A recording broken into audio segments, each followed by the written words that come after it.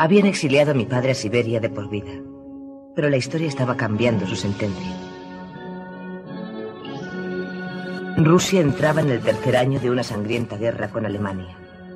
El zar había perdido tantos hombres que tuvo que recurrir a la ayuda de sus enemigos. Pero mi padre no resultó apto para el servicio. Josip Vissarionovich Dugasvili, 38 años, nacido en Gori, provincia de Georgia, desterrado a Siberia por actividades revolucionarias, obligado sin embargo a realizar el servicio militar en el ejército imperial. El soldado tiene algunos defectos físicos. Brazo izquierdo, tres centímetros más corto que el derecho. Posiblemente una malformación congénita. Segundo y tercer dedos del pie izquierdo entrelazados y pegados. La marca del diablo. Rechazado.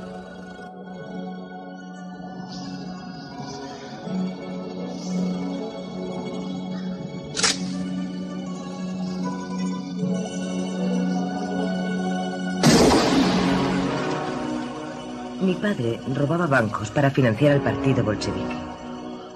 Su apodo favorito era Koba. Cazaba durante el día y por las noches jugaba a las cartas con los maleantes y los ladrones.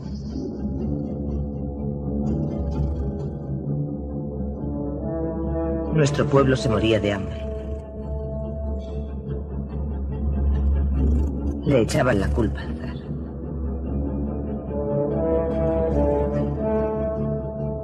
Y este se vio obligado a abdicar. El nuevo gobierno liberó a todos los prisioneros políticos. Y los revolucionarios exilados como mi padre fueron amnistiados.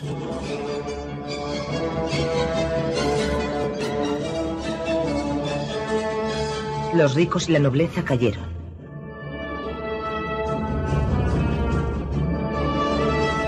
Koba volvió a casa.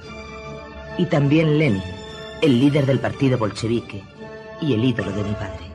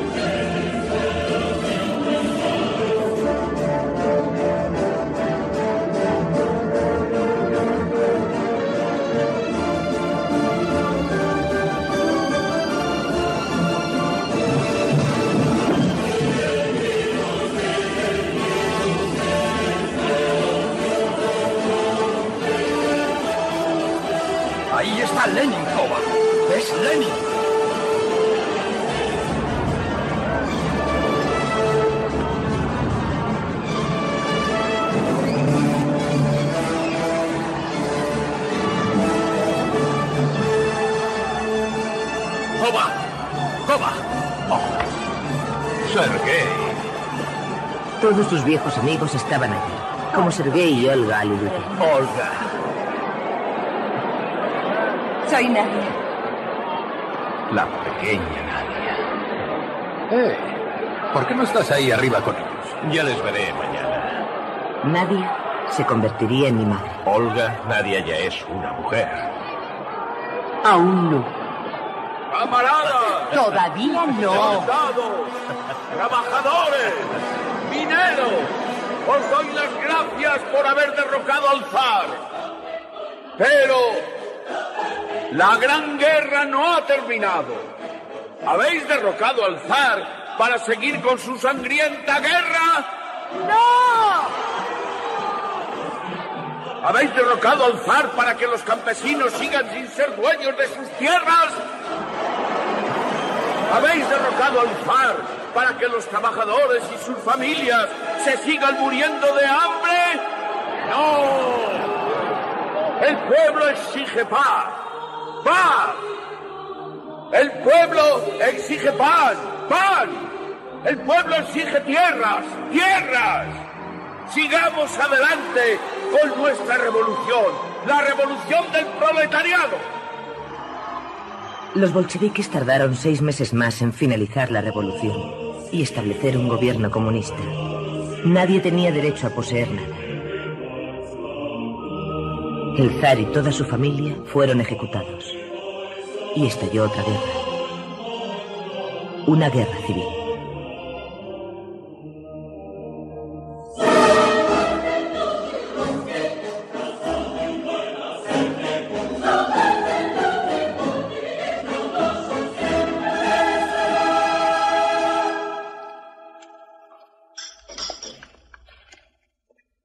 Canción favorita de Koba, La golondrina negra. Ah, ¿te acuerdas?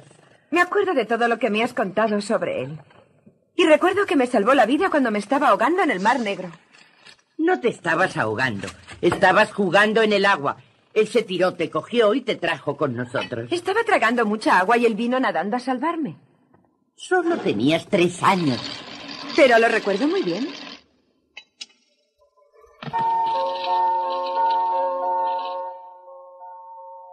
La golondrina negra. Es un disco de Nadia. ¿Qué edad tiene ahora? 17 años. Pero es muy inteligente. Discute de política con Lenin. Me gustaría verlo. Bien. Koba. No. Stalin. Stalin. Mi nuevo nombre. Acero. Acero. Pero para ti, para los amigos y camaradas como tú, siempre seré Koba. Por Stalin. No. Por Lenin.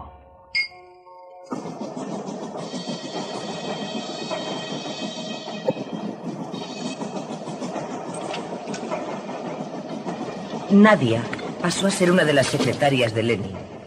Un año después se fue con Stalin, que había sido enviado al Frente Sur.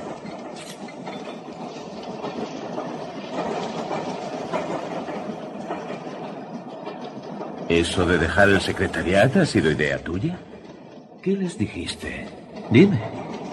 Les dije que habiendo una guerra civil quizá podría ser más útil. ¿Útil?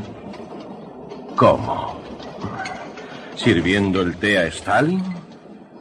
¿Espiándole? ¿Informando sobre él? No, ayudándole. ¿Creen que Stalin necesita ayuda? ¿Que Stalin necesita ayuda de una chica de 18 años? Para atenderle, para tomar notas. ¿Quién te envió y te dijo que vigilaras a Stalin? ¿Quién? ¿Fue Trotsky o Lenin?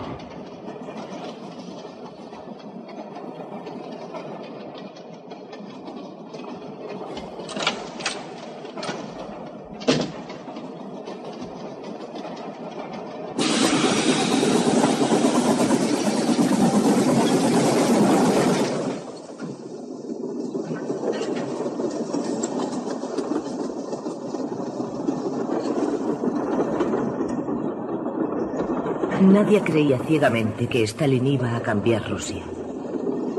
Y estaba en lo cierto.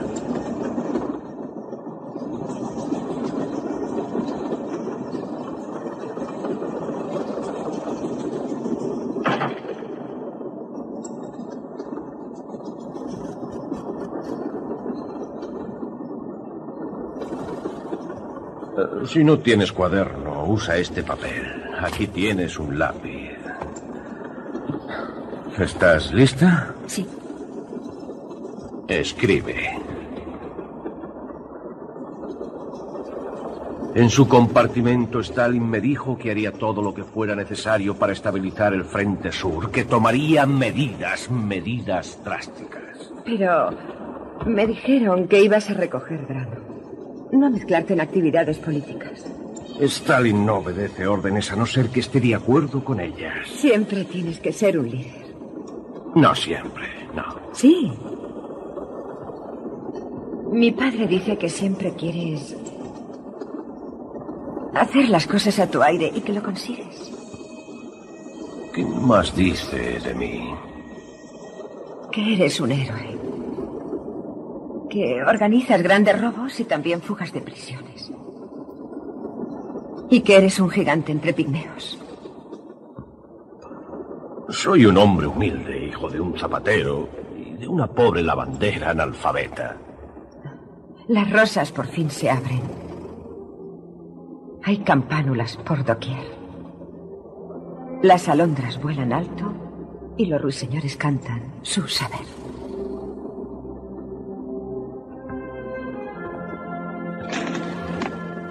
Tenía 15 años cuando lo escribí.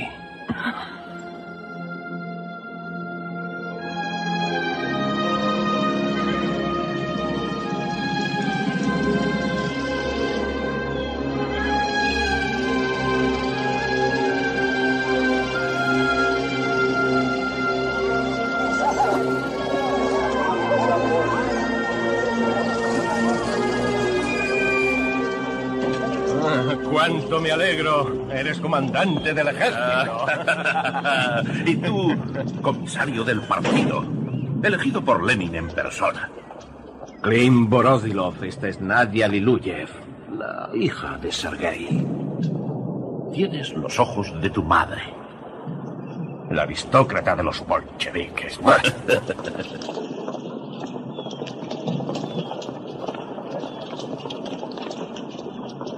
Filipo, Kabalenko, son oficiales del zar. Sí. Confías en ellos. Trotsky sí, ¿y tú? Trotsky es comisario de guerra y además comandante del ejército rojo. ¿Estás de acuerdo con Trotsky o no? No del todo. Bien. Entonces opinas que debemos poner vigilancia. Sí, por supuesto. Una fuerte vigilancia. Esta es una lista de los oficiales poco fiables. Quiero que se presenten aquí inmediatamente. Deberíamos informar a Trotsky. Trotsky no lo entiende. Nosotros sí.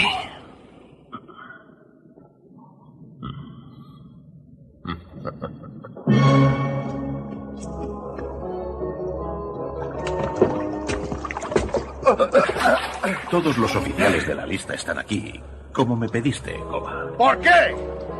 ¿Cuál es la razón? Nos hemos dejado la piel por vosotros. Esa barcaza no debe hundirse, Klim. Ten mucho cuidado. Morirían todos. Ten mucho cuidado.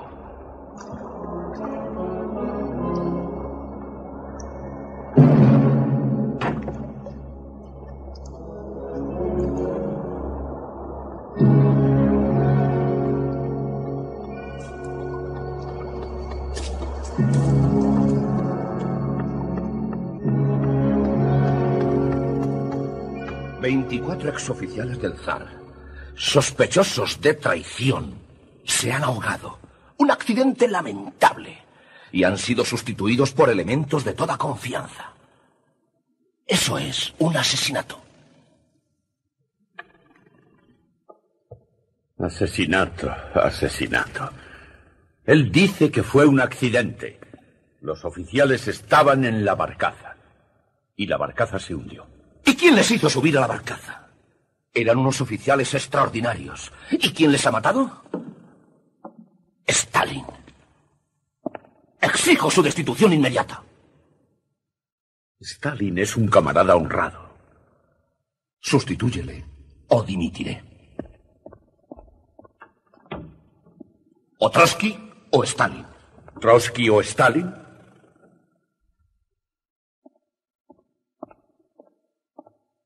Me parece que no lo comprendes.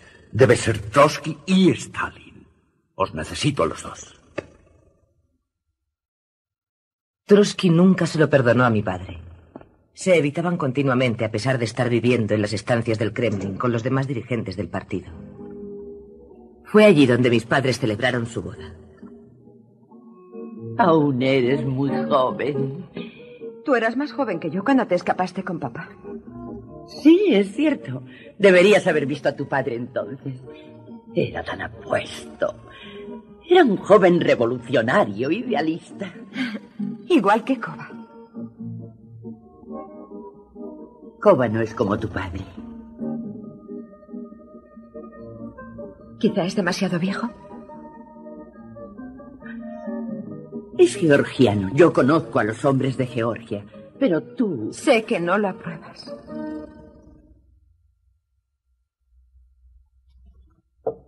Pero yo quiero estar siempre con él. Alégrate por mí. Por nosotras. Nadia, Nadia, Nadia. Vamos, entra. Coba quiere verte. Pues bien cerca la tiene.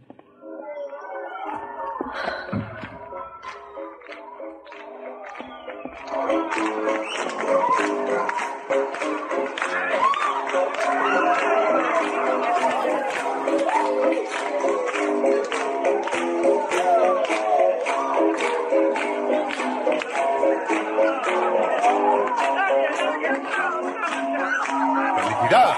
¡Felicidad eterna! ¡Cuánta comida! Tú eres joven, la revolución es joven, así que ambos triunfaréis. Nicolai, tú siempre tan optimista.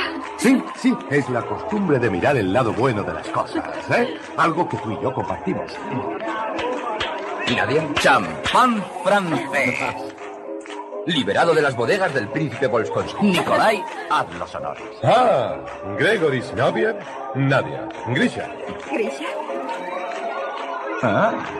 Por desgracia, no pudimos conseguir la cristalería de Volcón. Se rompió. Por la vida. Por la vida. Por la vida. ven. Nadia, ven. A bailar.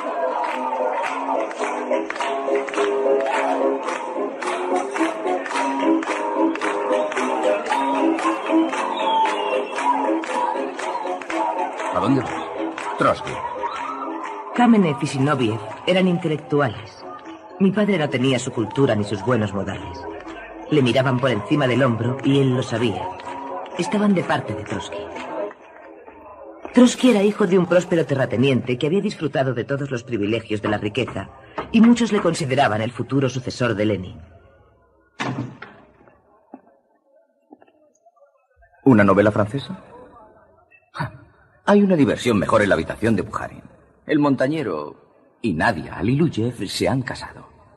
¿Cómo es que no te han invitado, Trotsky? ¿Algo más? No.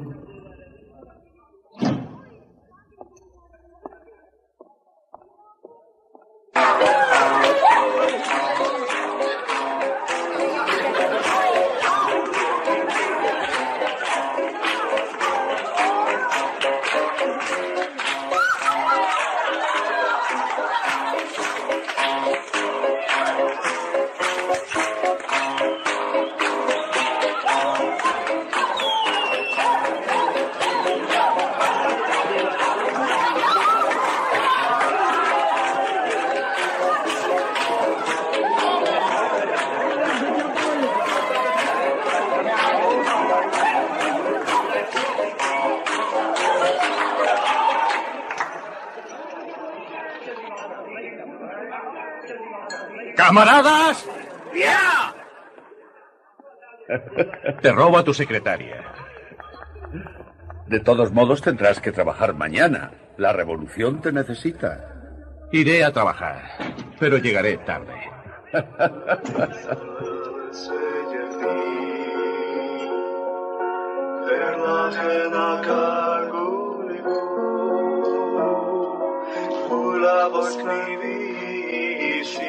لبی صدق خرچ موسو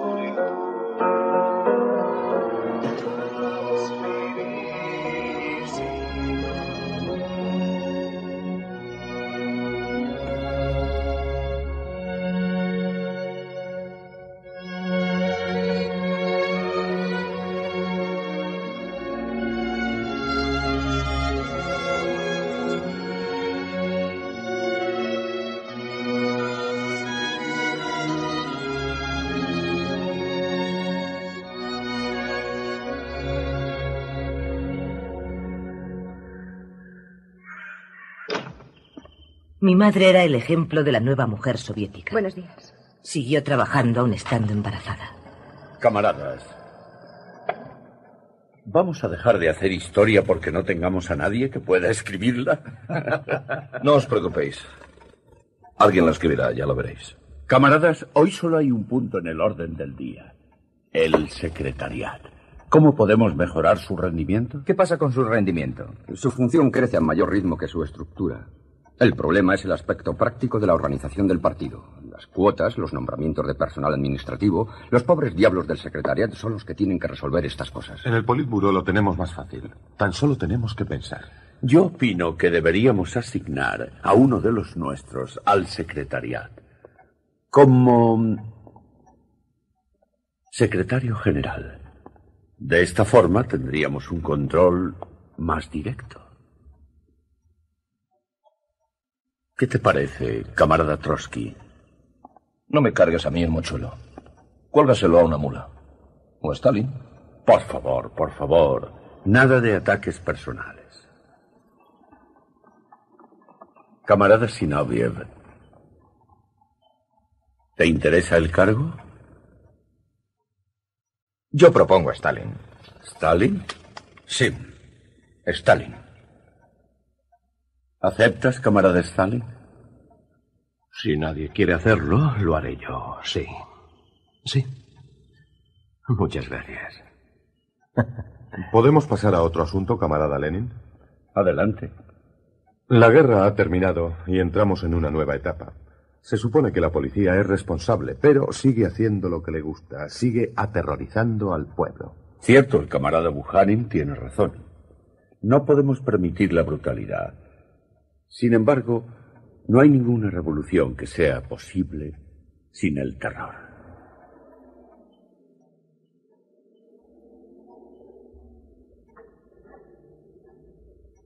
¿Qué estás dibujando?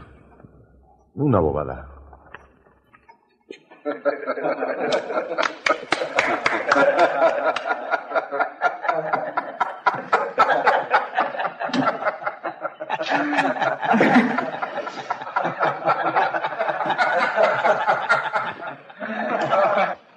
Me han dado mucho poder, Sergo. Me dejan mover los hilos. No se han dado cuenta de eso, tontos intelectuales. ¿Y Trotsky? Trotsky está en contra. El rey de los judíos está en contra. ¿Sabes lo que me han dado en recompensa por hacer este trabajo? Una casa de campo. ¿Sabes a quién pertenecía la casa? A Zuvalov. ¿A Zuvalov? El malnacido contra el que hicimos la huelga. y Trotsky está en contra.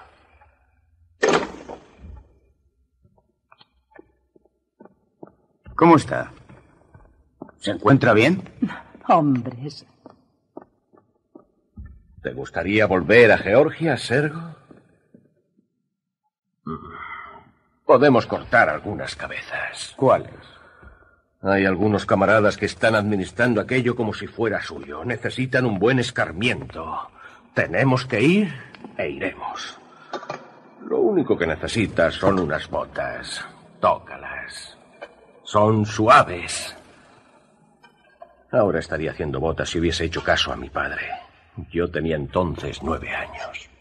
Me llevó a Tbilisi para trabajar en una fábrica de botas. Quería que yo fuese zapatero como él. Me escapé y volví a casa. Con nueve años me dio una paliza de muerte. ¡Qué paliza me dio!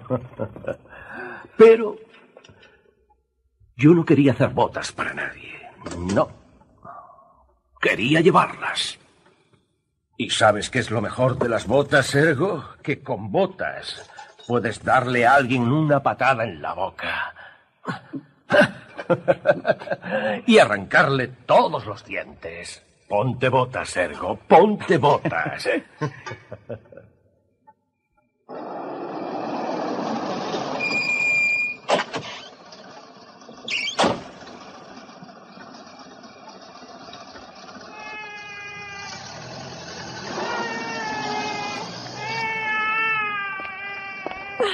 ¡Ya! ¡Es un varón!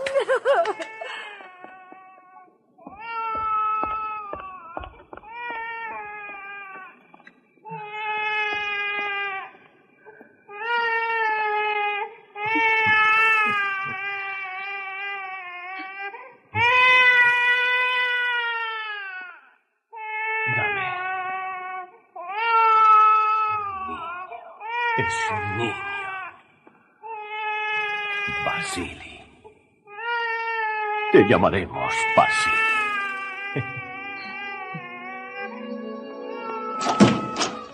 Coba. ¿Dónde está Coba? ¿Qué sucede? Coba.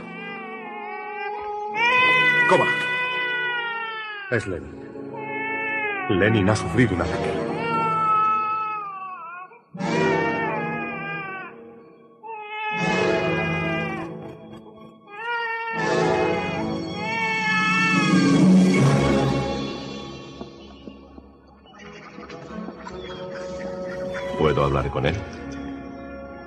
¿Desde cuándo pides tu permiso?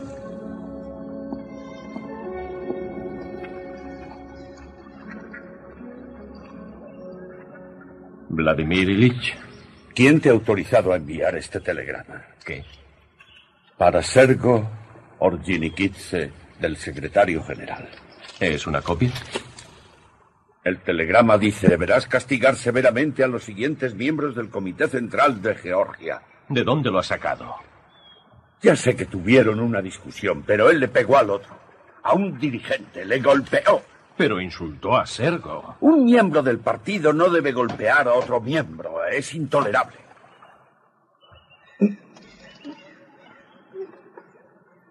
¿Tienes dolor?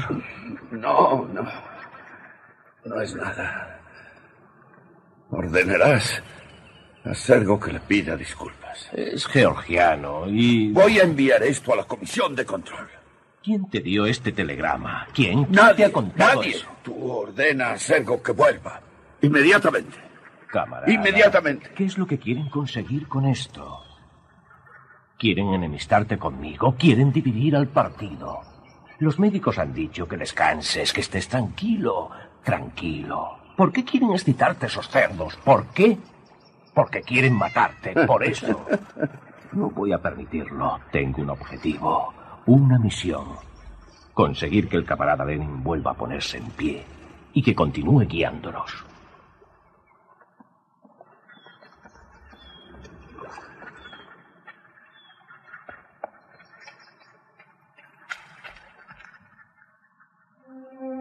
Te enviaré un médico. El trabajo que nadie quería hacer dejó a mi padre a cargo de la seguridad interna del partido. Se rodeó de hombres despiadados elegidos por su lealtad hacia él. Kaganovich fue uno de ellos. Natasha es la telefonista de Lenin. Sabremos quién le llama en todo momento. ¿Quién lo ha dispuesto? Yo mismo. ¿Quién más lo sabe? Nadie. Asegúrate. Bien. Coba.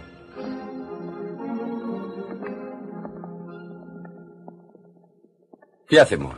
Lenin está enfermo. El país necesita un líder. Trotsky, naturalmente, está dispuesto a serlo. Pero como es de esperar, no haría caso de la opinión de nadie. Y menos de la tuya. Ni de la nuestra.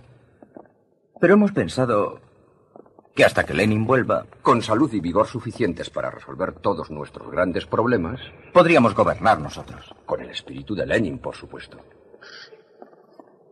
¿Nosotros? Los camaradas Stalin, Kamenev y Sinoviev. ¿Cuántas patas tiene una banqueta? Pues. Tres. Oh. ¿Por qué no se sostiene en una ni en dos? Bueno, bueno.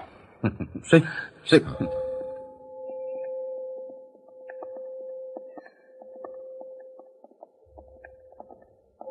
¿Qué estarán tramando ahora? Deja que me tomen por tonto.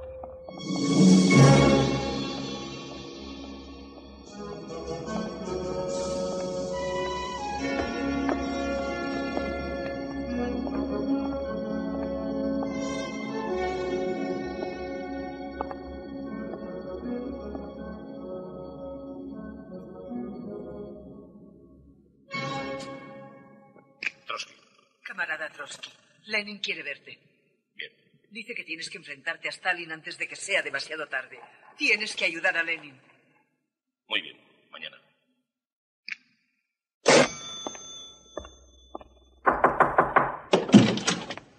¿Dónde está? Ha dicho que no le moleste.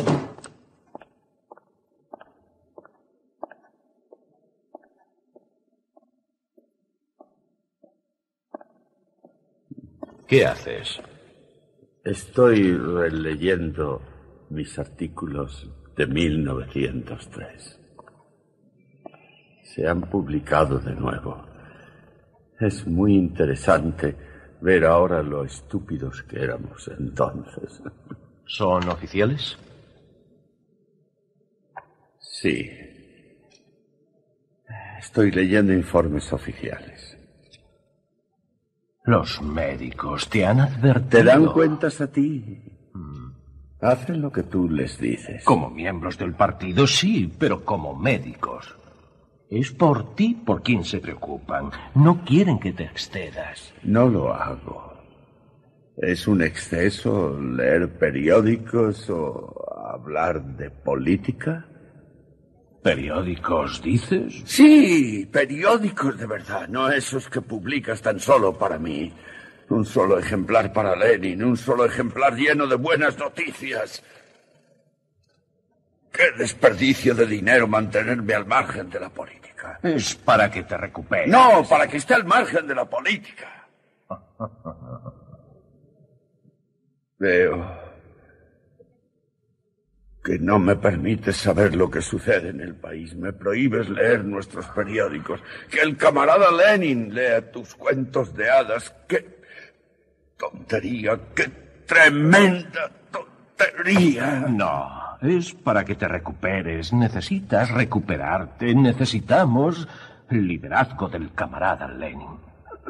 ¿Cómo puede liderar el camarada Lenin si se le oculta información?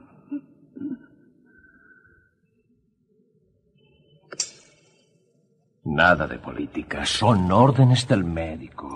Órdenes del médico. ¿No son órdenes de Stalin? No. La situación en Georgia, tú eres georgiano. Todo está bajo control. Tú... tú tienes que preocuparte solo por tu salud. La re...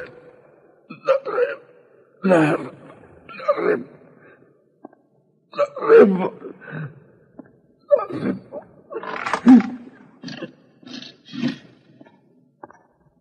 ¿Por qué llamaste a Trotsky, vieja estúpida? Creíste que no me enteraría. No tiene que ver a Trotsky ni a nadie. ¿Qué es lo que pretendes hacer? ¡Matarle!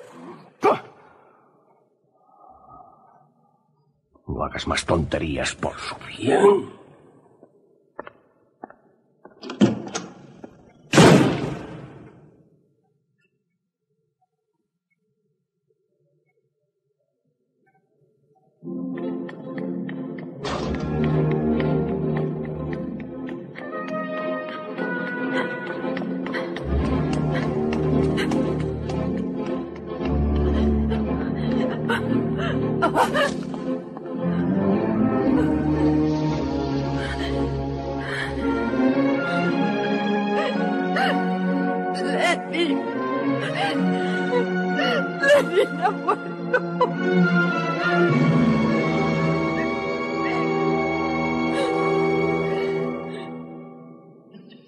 Mi padre comprendía lo mucho que el alma rusa necesitaba un dios, ahora que la religión era ilegal.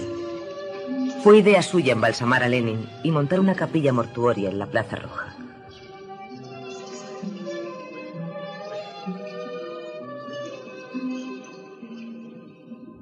Camarada Molotov, ¿dónde está el camarada Trotsky? Te di instrucciones de buscarle y traerle aquí. ¿Qué ha pasado? Le, le localicé y le dije que el funeral era ayer. Dijo que estaba muy lejos para llegar a tiempo. ¿Por qué le mentiste?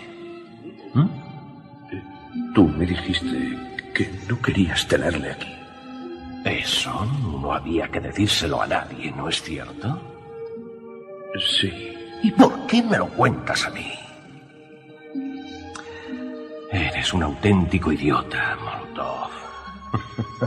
Llegarás muy lejos.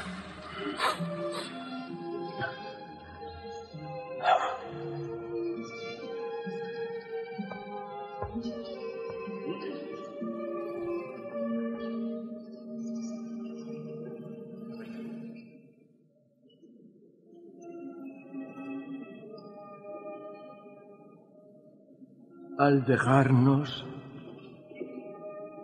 el camarada Lenin nos ordena que nos sintamos muy orgullosos de la gran llamada del partido. Al dejarnos, el camarada Lenin nos ordena que mantengamos la unidad del partido. Juntos te prometemos cumplir y honrar ese mandamiento, camarada Lenin.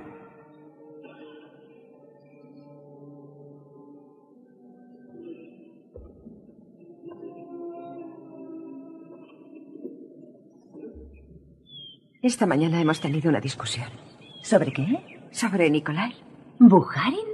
si a él le gusta Bujarin. Nikolai me ha encontrado un trabajo en una nueva revista, Revolución y Cultura. Joseph me dijo que solo faltaba que perdiera el tiempo con los amigos bohemios de Bujarin, poetas inútiles, artistas. Le contestarías que no son inútiles. Le dije que está muy lejos de serlo. Que la revolución necesita cultura. Exacto. Entonces le rodeé con los brazos y me pidió disculpas. Y luego hicisteis el amor.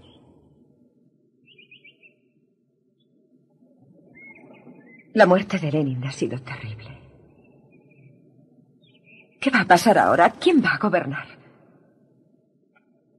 Josip dice que están tramando una conspiración a sus espaldas. ¿Quién es? Ya es hora de marcharnos, Tina. ¿Sí?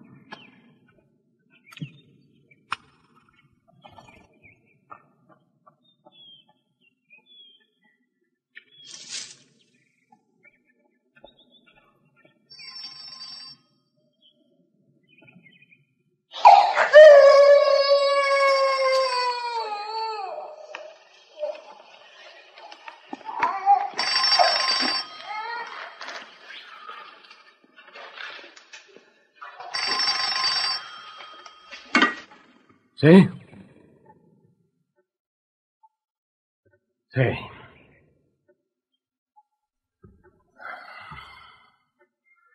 Sí.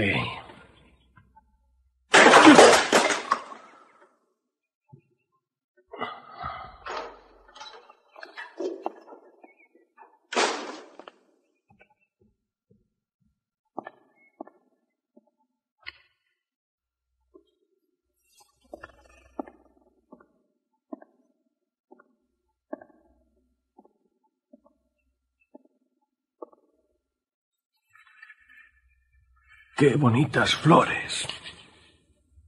Pero su vida es corta. ¿Qué te pasa? Me han dicho por teléfono algo sobre una carta. ¿Qué carta? Una carta que Lenin envió al Comité Central para que se abriera después de su muerte. ¿Y qué dice esa carta? ¿Tú no sabes nada? No, nada.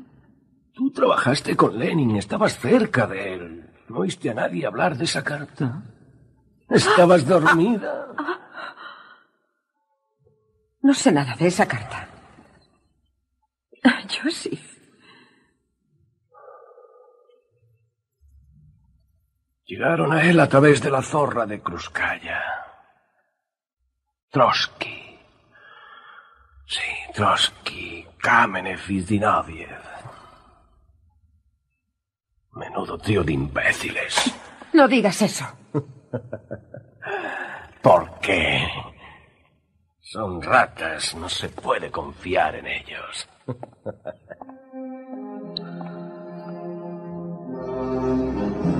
El camarada Lenin también escribió. Stalin es muy tosco. Y este defecto resulta intolerable en alguien que ocupa el puesto de secretario general. Por consiguiente propongo a los camaradas que busquéis la forma de cesar a Stalin de su cargo y nombréis a otra persona más paciente, más leal, más educada y menos... Este es el fin de Stalin. Dejad hablar a Trotsky. Háblales. Eres el único que puede librarnos de Stalin. Deja que Zinoviev dé el golpe. Por favor, por favor. Para nosotros, las palabras de Lenin tienen un significado vital. Pero en el periodo en que el camarada Lenin no pudo gobernar recayó sobre nosotros, los camaradas Kamenev, Sinoviev y Stalin, la misión de liderar el país. La experiencia me obliga a decir que los temores del camarada Lenin son infundados. Así que propongo que mantengamos a Stalin en su puesto. Esto es indignante. Desde luego. Bien dicho. Lenin estaba enfermo. Camarada Zinoviev. Enfréntate, camarada. Lenin tenía razón. Debemos hacer caso a Lenin. ¡Que hable Trotsky! ¿Escribió realmente esas palabras el camarada Lenin? Te ha traicionado. ¿No se vería obligado a escribirlas en un momento en el que estaba enfermo, en el que Lenin no era el auténtico Lenin?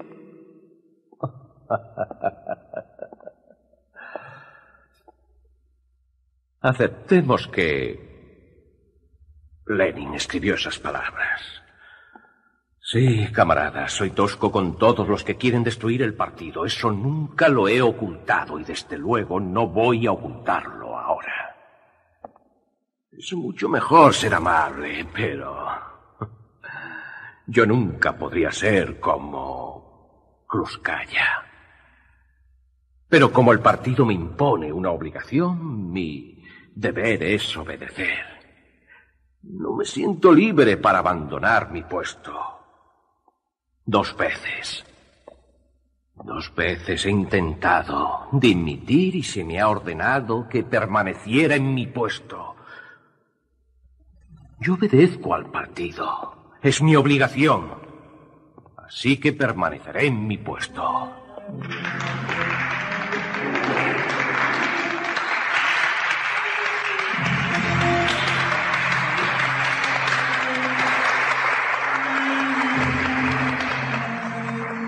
Trotsky desperdició su última oportunidad de detener a mi padre. Subestimó al hombre al que llamaba mula y montañero.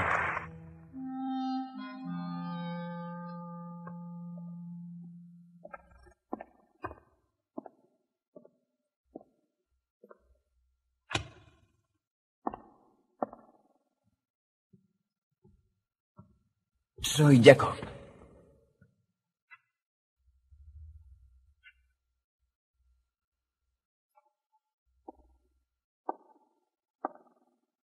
Es tu hijo. Lo sé.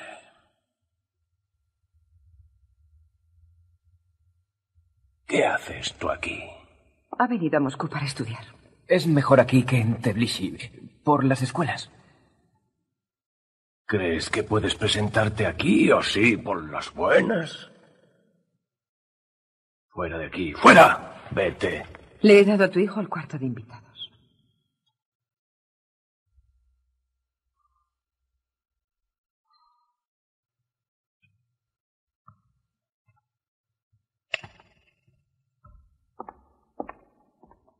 No, no. No te preocupes. Todo se arreglará. ¿Por qué, Josie? ¿Por qué? Ni siquiera me habías dicho que tenías un hijo. ¿Por qué? Cuando su madre murió, él tenía tres años y no le has visto desde entonces. ¿Por qué? ¿Es que la odiabas? ¿La amabas? Era una joven georgiana, inculta y religiosa. ¿Entonces no la amabas? Yo era joven y ella también. Nunca me has hablado de ella. ¿Por qué?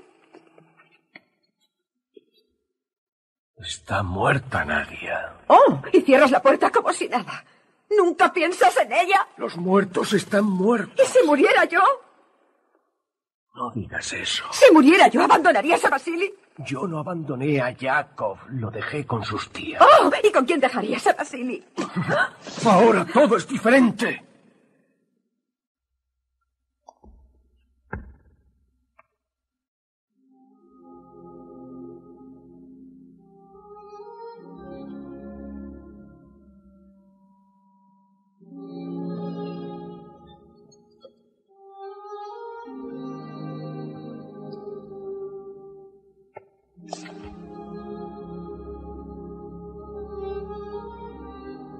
¿Y a nuestro otro hijo?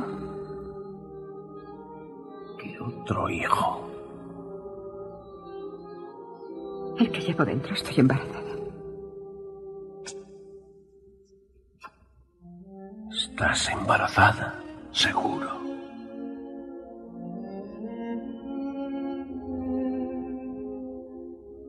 ¿Por qué no me lo habías dicho? ¿Por qué?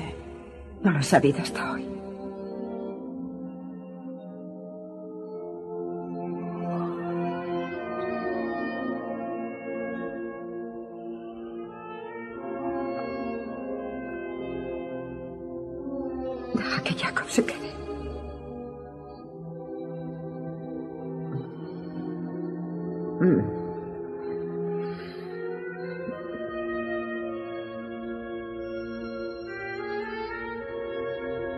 Yo sí.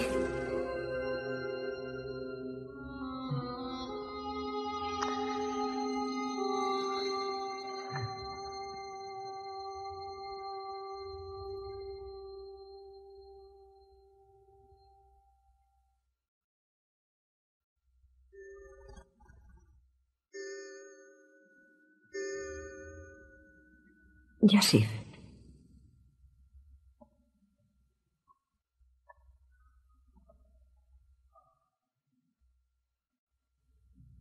Mira cómo conspiran.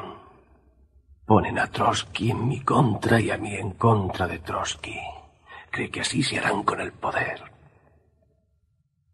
Son unos ilusos.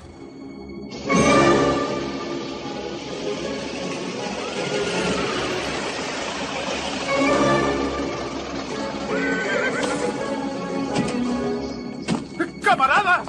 ¡Mirad a quién están deportando! ¡Es Trotsky, el amigo de Lenin! ¡Mi padre! ¡Camaradas! ¡Detenedles! ¡Cállate, estúpido! ¡No! ¡Es Trotsky, el amigo de Lenin! ¡Es mi padre! ¡No pueden llevárselo! ¡Es mi marido! ¡Es mi marido! ¡No os lo llevéis! ¡No os lo llevéis! ¡Suelten que es mi padre! En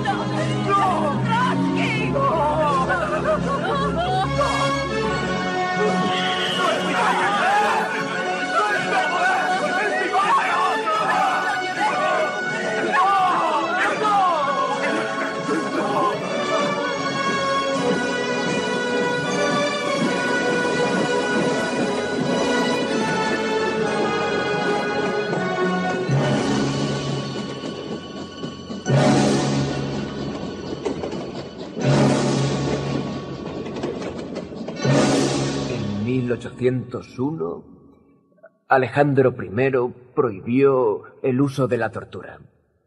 La misma palabra tortura, dijo, es una vergüenza para la raza humana. ¿Qué hacéis? Estoy ayudando a Jacob a preparar sus exámenes. ¿Estás de acuerdo con Alejandro? ¿No tienes opinión? Qué buen estudiante. Yo sé. ¿Estás de acuerdo o no?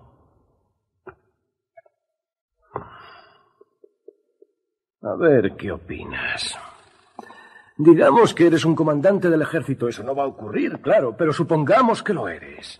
Te traen a un prisionero que tiene información vital que podría salvar la vida de tus soldados. Es muy testarudo y se niega a hablar. Te escupe en la cara. ¿Qué harías, Jacob? No lo sé. ¿Dejarías morir a tus hombres? No. Jacob, ¿cómo lo salvarías? ¿Mm? La tortura es mala. Mi hijo. Y tú esforzándote en educar a este pobre idiota.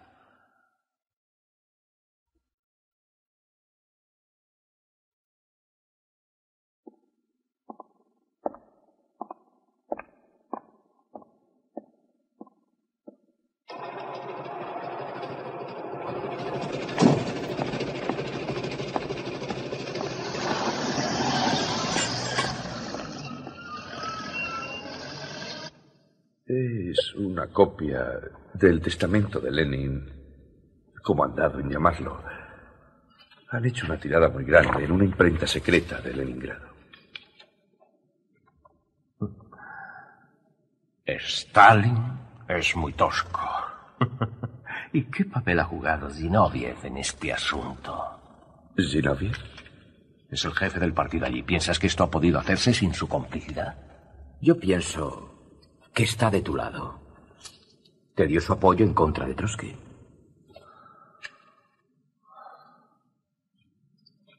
Una maniobra pasajera. Sergo, tal vez si fueras a Leningrado, podrías persuadir a los camaradas para que se deshagan de Zinoviev. Busca un sustituto, un buen comunista, que tenga personalidad. Pero...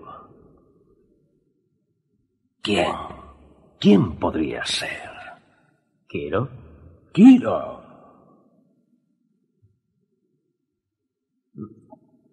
Trabajaste con él en el Cáucaso, ¿no?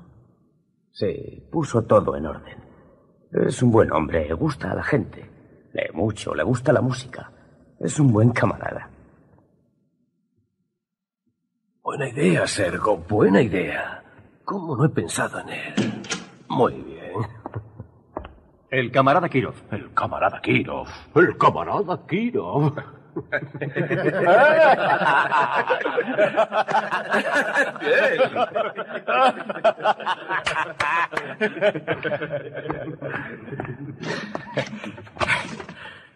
Camaradas.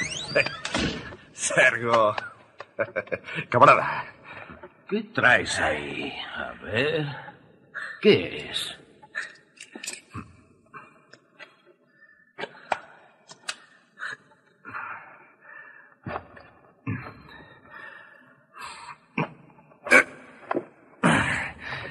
Lo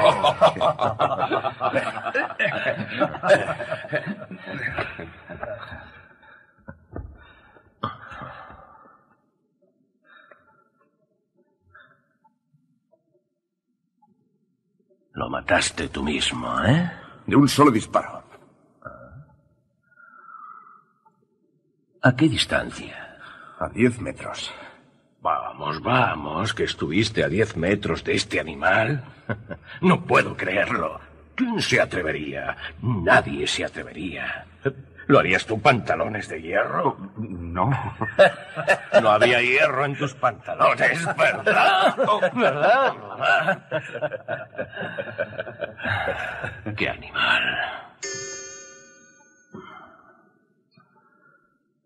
Vas a ir a Leningrado a sustituir a Zinoviev. También irán Sergo y Kaganovich. Confío en ti.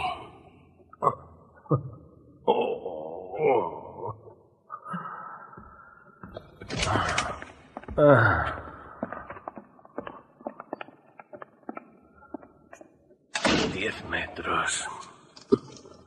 Disparó a diez metros, Yagoda. A diez metros. Es increíble. Hay que admirar a un hombre así. Y vigilarle. Vete a Leningrado y vigílalos a todos. Sobre todo. Sobre todo a Kirov. Sí.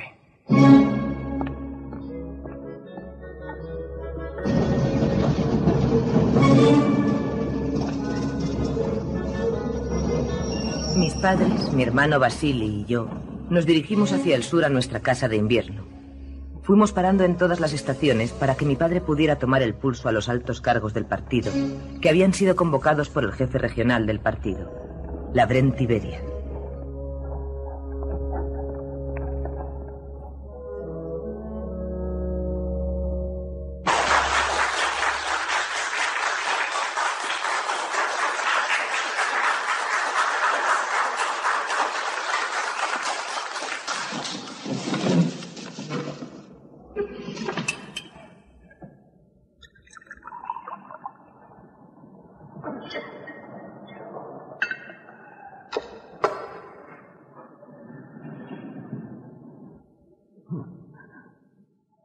vamos a hacer?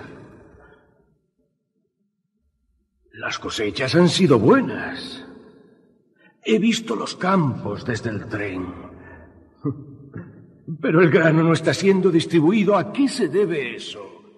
Es porque les han dicho a los campesinos que si esperan pueden obtener mejores precios y hacerse más ricos a expensas de todos los demás. ¿Quién? ¿Quién les ha dicho eso? ¿Quién? Camarada Stalin, me parece que no comprendes la situación. El Estado ofrece precios bajos, disparatadamente bajos. El Estado pide a los campesinos que trabajemos para beneficiar a la gente de las ciudades. En mi región hay descontento. Los jefes del partido no comprenden que nuestros campesinos viven constantemente amenazados. Los campesinos se quejan de que cuando venden el grano no reciben nada a cambio. No hay nada que puedan comprar. Os he preguntado qué vamos a hacer y me habéis contestado no. Solo quejas. ¿Me habéis dado una solución? No. Así que os daré la mía. Exigiréis la entrega de todas las reservas de grano a los precios actuales. A todo el que se niegue le confiscaréis el grano.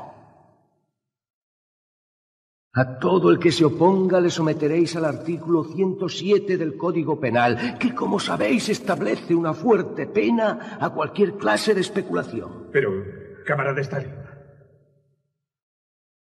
Estas son mis instrucciones. Las medidas se aplicarán en toda la Unión Soviética.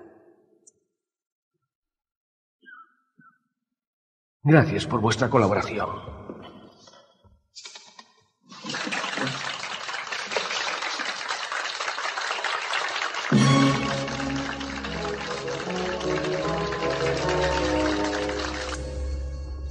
El 80% de la población rusa eran granjeros que vivían y trabajaban al margen del control del partido. Para mi padre eso representaba un grave peligro. Aquellos a los que no controlaba podrían llegar a convertirse en sus enemigos.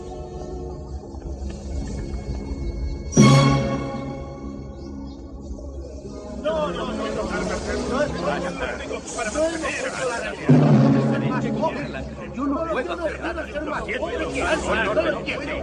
¡No!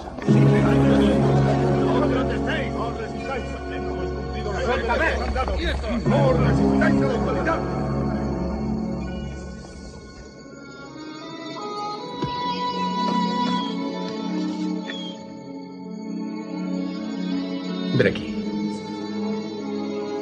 Ven.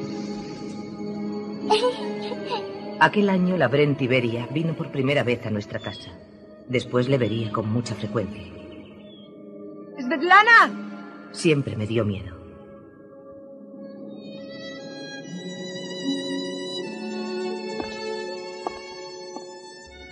Es un pervertido. ¿Beria?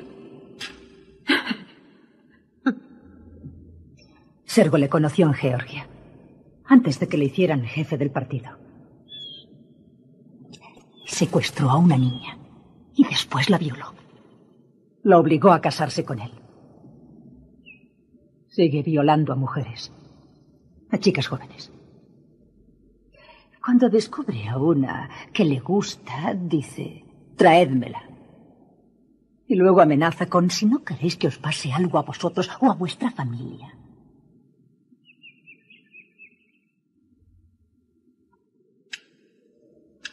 Sergo le odia.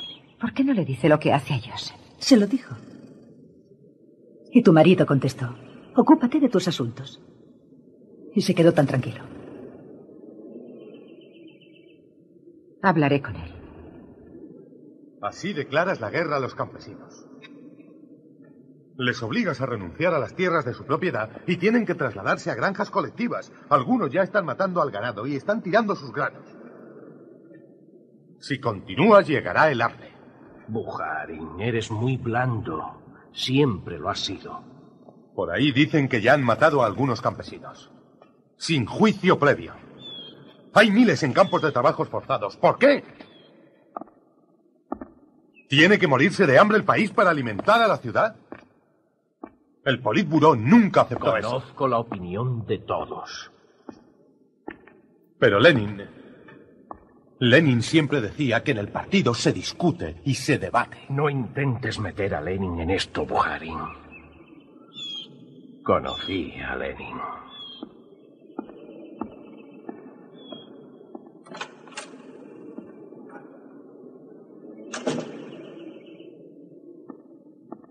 Me vuelvo a Moscú.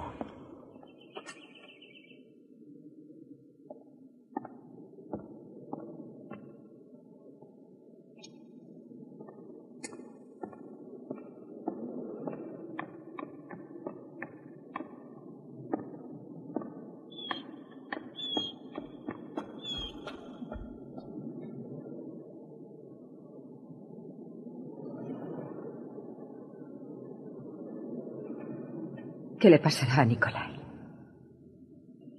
Joseph no permite que nadie le lleve la contraria.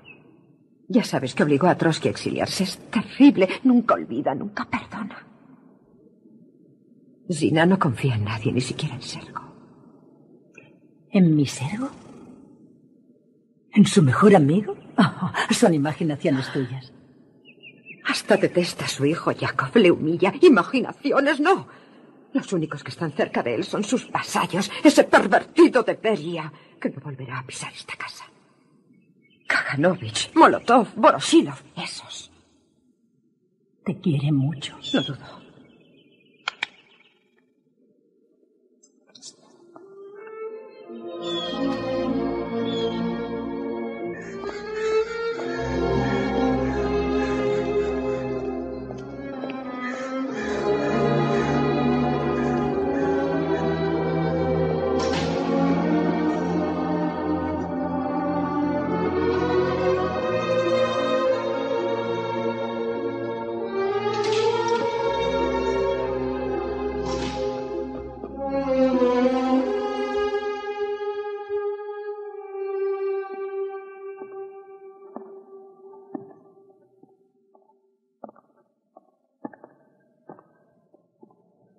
Jacob.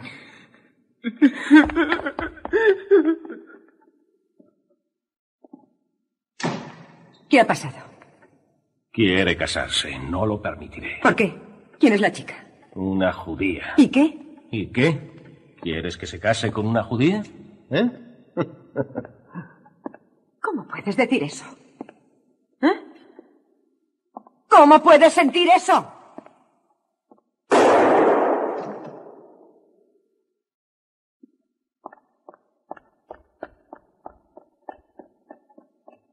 Mamá, Llama a un médico. está herido. ¡Un médico y llévate a Basili!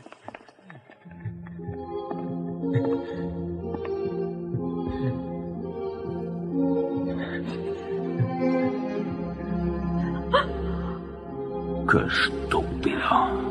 Ni siquiera sabe matarse.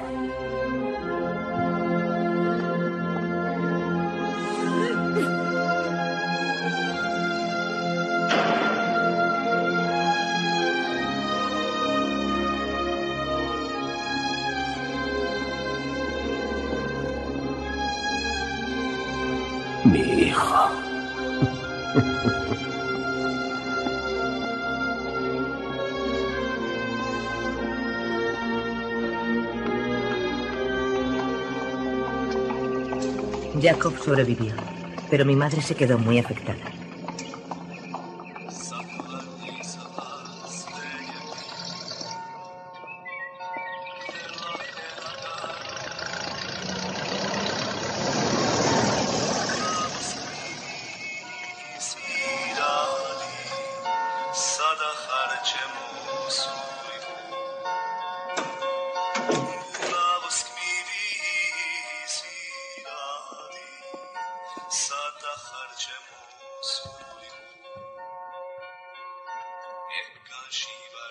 Los niños están dormidos.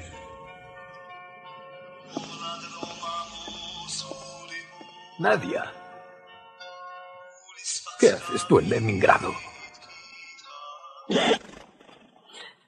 Le he dejado. No. Nadia, no llores. No, tú no lo comprendes. Sí, lo comprendo. Claro que lo comprendo. Es un... Es un... un- ¿Quieres que le llamemos? No. No. Todavía no.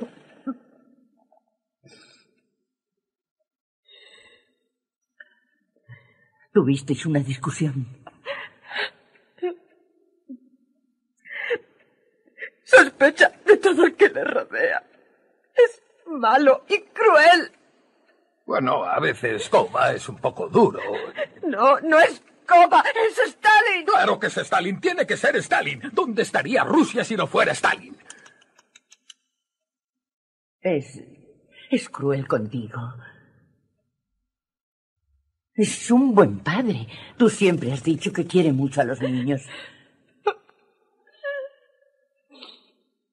Hay otra. otra mujer. No. No, claro que no. Tiene muchas cargas, muchos problemas. Tiene que luchar con esos industriales egoístas y saboteadores. El país está en crisis, te necesita. Pero, Sergei. No puedes abandonar a tu marido. Estás muy cansada. Quédate unos días. Está bien. Está bien, le llamaré. Le diré que estás cansada, agotada, destrozada. Necesitas tiempo, Nadia, para. Para pensar tranquilamente y con serenidad. Si no vuelves, ¿qué va a ser de ti? Y de nosotros.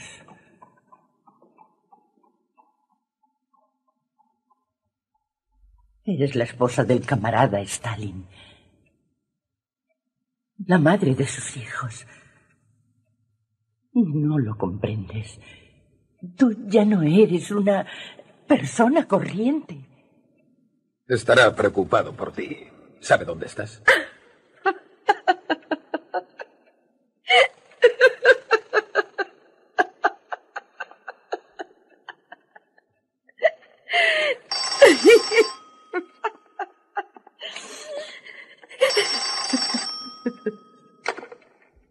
Dígame. Soy Sergei.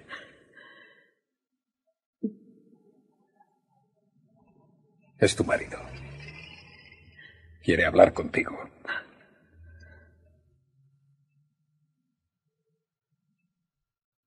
Coba. Ya se pone.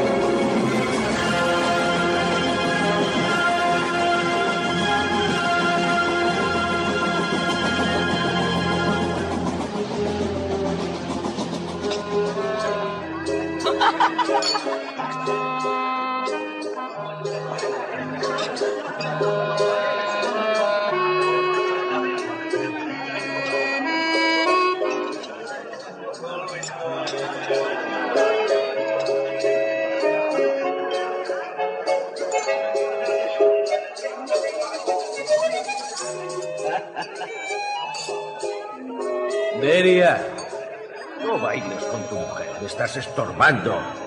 Dices que es una excelente bailarina. Pues a ver, dile que nos lo muestre. favor, baila. Vamos, te lo pido, baila. Vamos, baila. Baila. ¡Eh! Seguid tocando, tocad.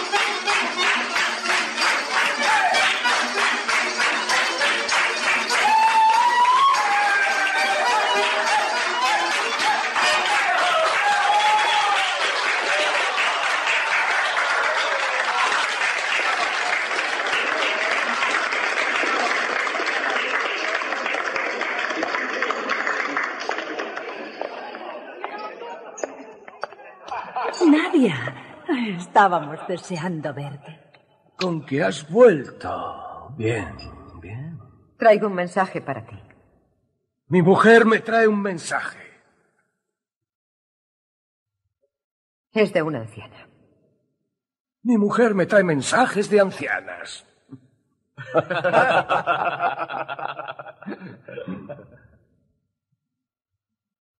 El tren se detuvo en una estación. A un lado de la vía había un tren de carga, con coches llenos de gente que estaba siendo deportada. Los cuerpos apelotonados sobre la vía, en una estación, cuantas más hay así. Una mujer corrió hacia mí, suplicándome que dijera a Stalin, al gran Stalin, que el pueblo, su pueblo, se está muriendo de hambre. Que si lo supiera el gran Stalin, él salvaría a su pueblo. Pero naturalmente vosotros estáis celebrando el 15 aniversario de la revolución y el camarada Stalin da de comer a sus amigos mientras el pueblo se muere de hambre. ¿Para esto hemos hecho la revolución? Oh, oh, oh.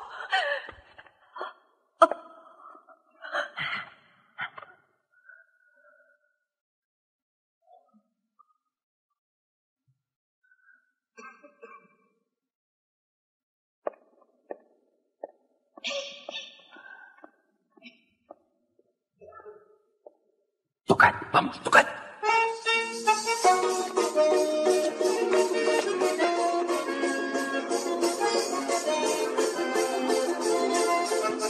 Tengo que ir con ella.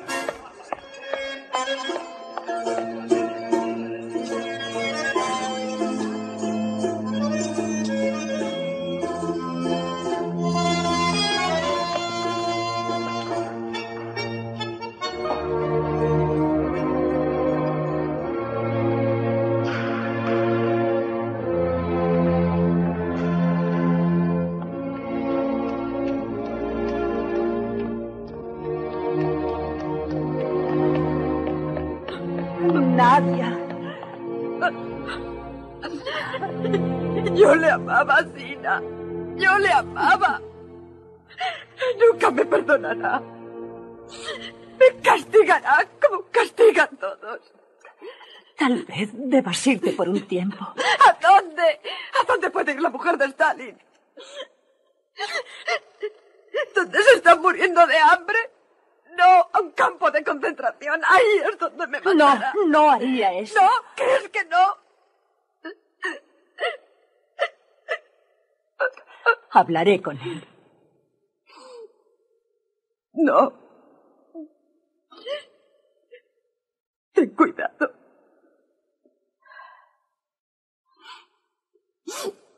Protégete. Te lo suplico.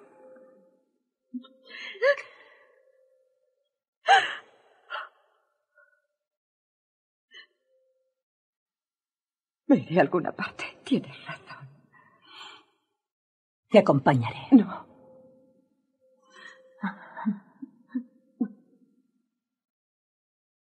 Mi amiga, mi querida amiga.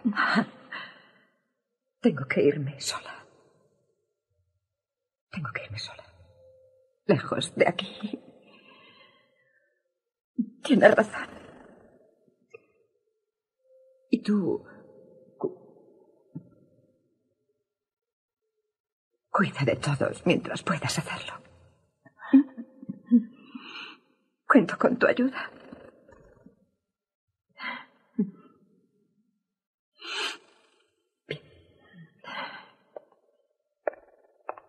Zina. Te quiero.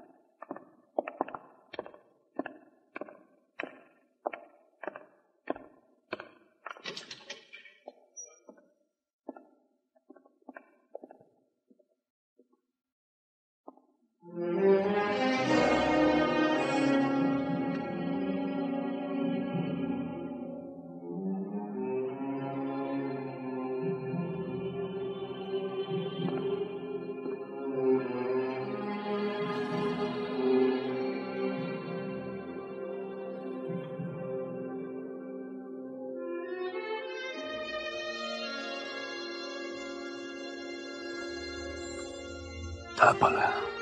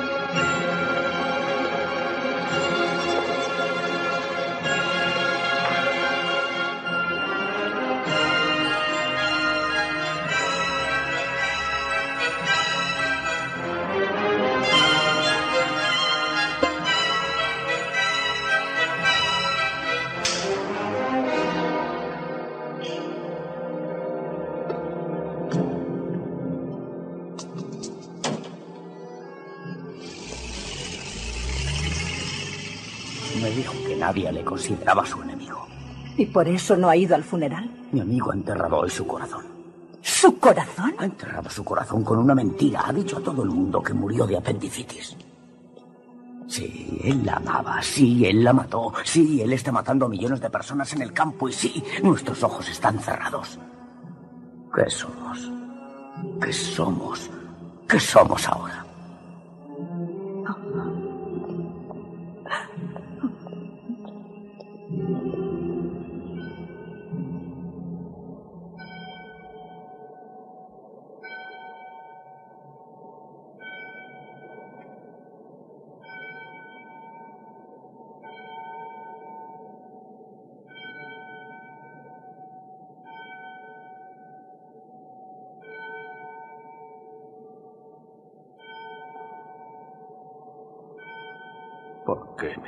Me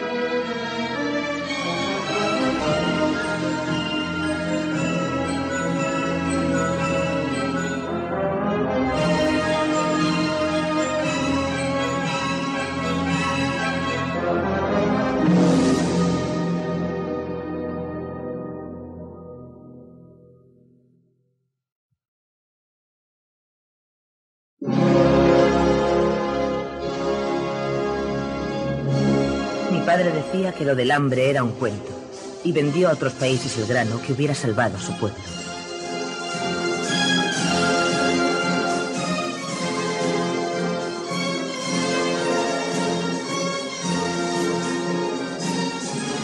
Utilizó el dinero para industrializar nuestra nación de campesinos.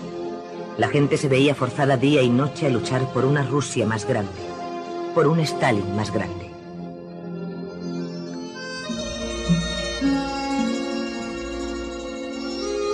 Lo único que yo sabía era que mi madre llevaba muerta dos años y que la echaba de menos.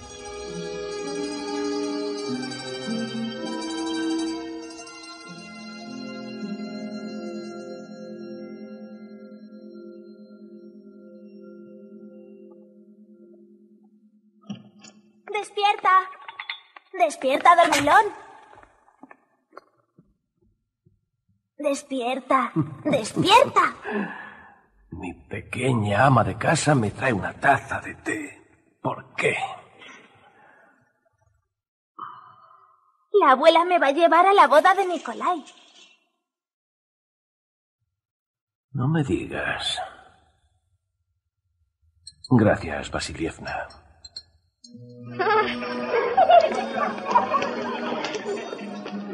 Hitler no solo es una amenaza para nosotros, sino para el mundo entero. Necesitamos una nueva estrategia, necesitamos unir al mundo. Qué idealista eres, Bujarin. ¿Dónde está la novia? Esto es para la novia. Ana Mijalovna. Llevo años esperando a que tengas edad suficiente para hablar. Gracias, Dios de él. Y esto, Nicolai, es para ti. ¿Qué?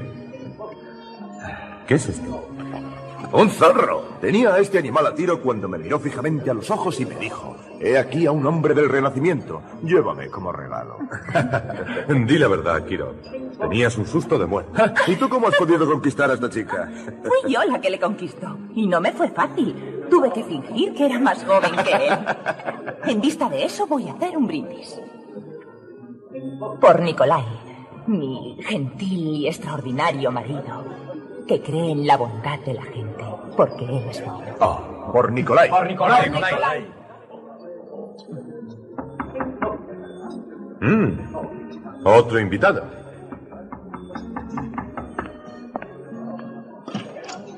Bujarinsky, enhorabuena. Te has olvidado. Te has olvidado. enhorabuena. Papá. Oh.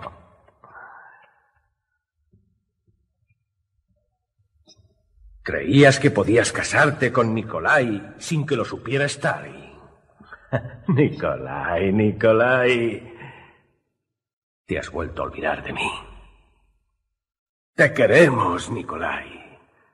Stalin te quiere, Lenin te quería.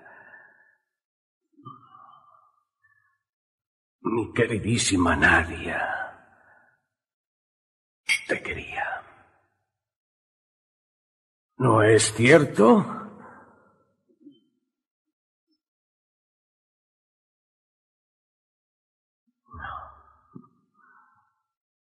Una novia preciosa. Os deseo a ambos toda clase de felicidades. Kirov. po- Podemos hablar.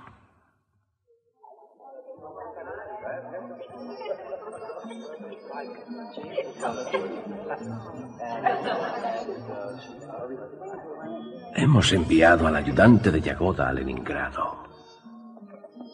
¿Para qué? Hay gente que va por ti. No, créeme, créeme. No te imaginas quiénes. Son de tu confianza.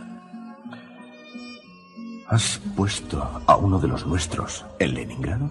El Comité Central. En el Comité Central sin consultarme. ¿Has enviado a un hombre a Leningrado? Será el ayudante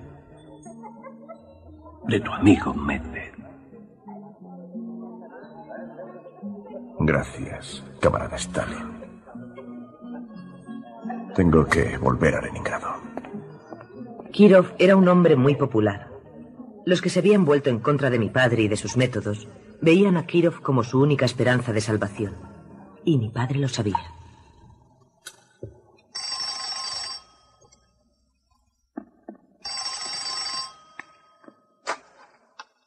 ¿Sí? Sí. Un momento, por favor. Es Stalin.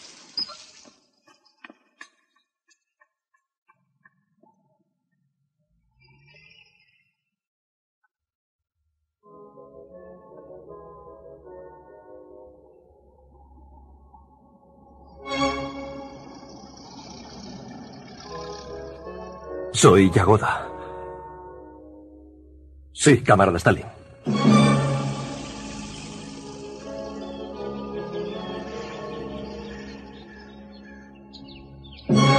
Aquel verano, mi padre reorganizó la seguridad del Estado, nombrando jefe a Yagoda.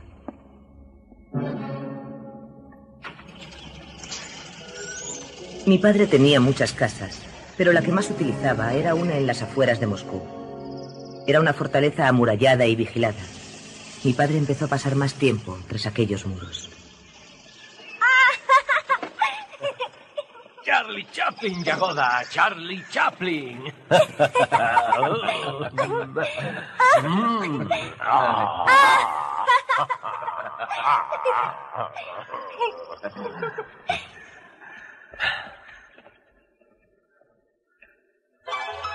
Todas las películas que se veían en Rusia tenían que ser aprobadas personalmente por mi padre. Las que más le gustaban eran las americanas, los musicales, las películas de gángsters y las comedias. Su favorito era Charlie Chaplin.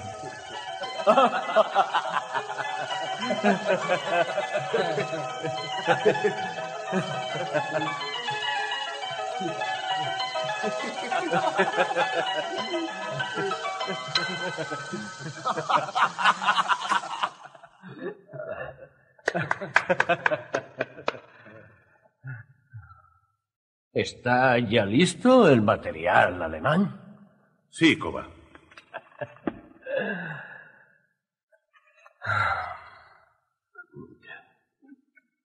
Tú ve a jugar. Esto no es para ti, Svetlana. ¿Encontrarás el camino de vuelta sin mí? Oh, no te preocupes por papá. No, no. Vete, vete.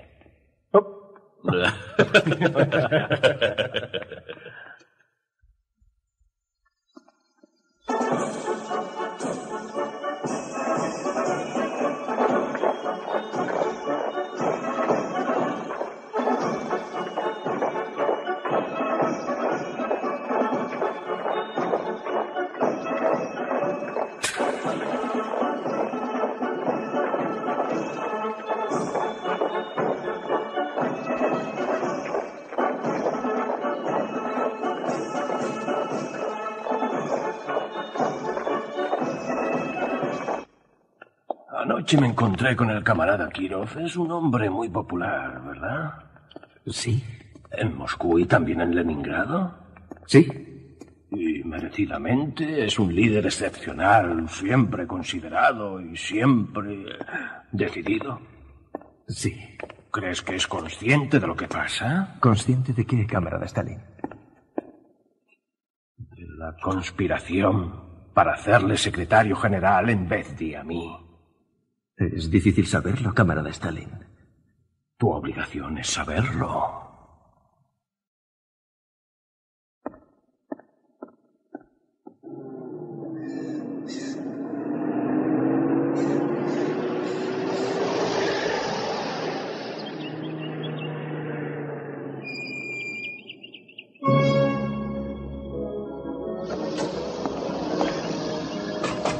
Cuando vayas en coche, camarada Kiro, corre las cortinas, por tu seguridad. Para mi seguridad, camarada, te tengo a ti.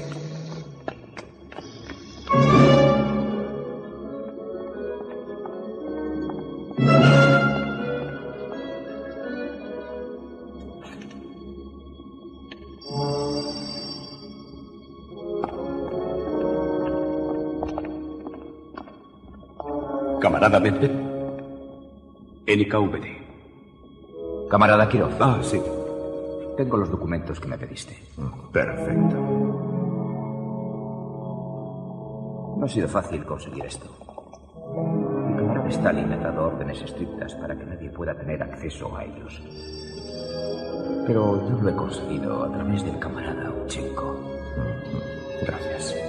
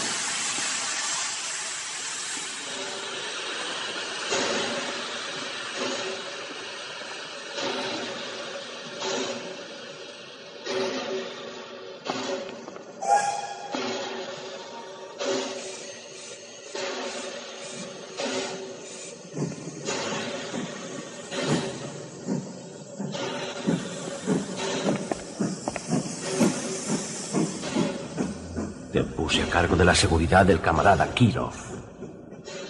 Sí, camarada Stalin.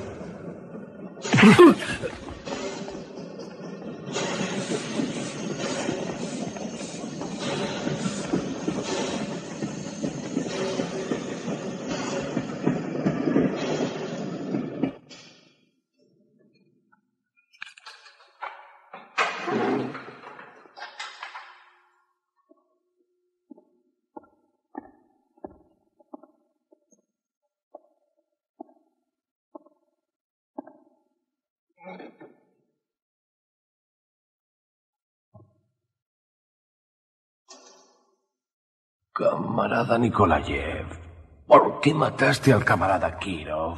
¿Por qué? Yo.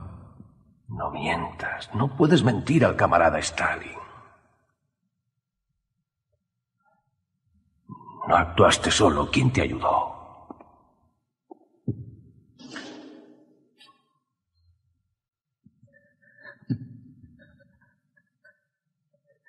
El cámara, camarada Yagoda.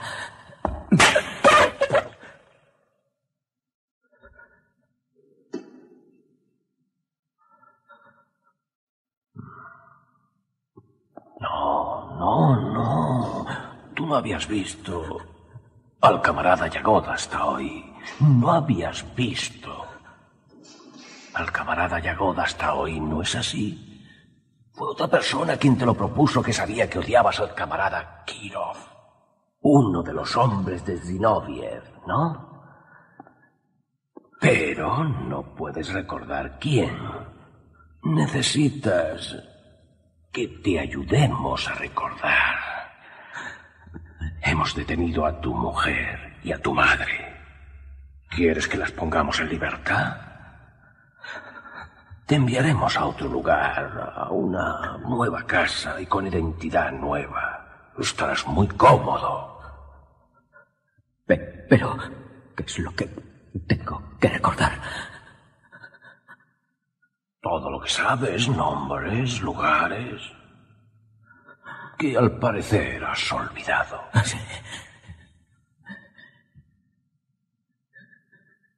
Ten, toma esto.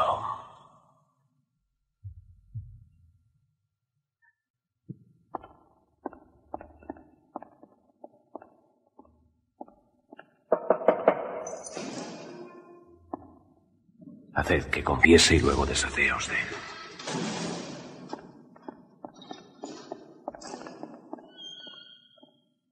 Ven, Grisha, ven conmigo.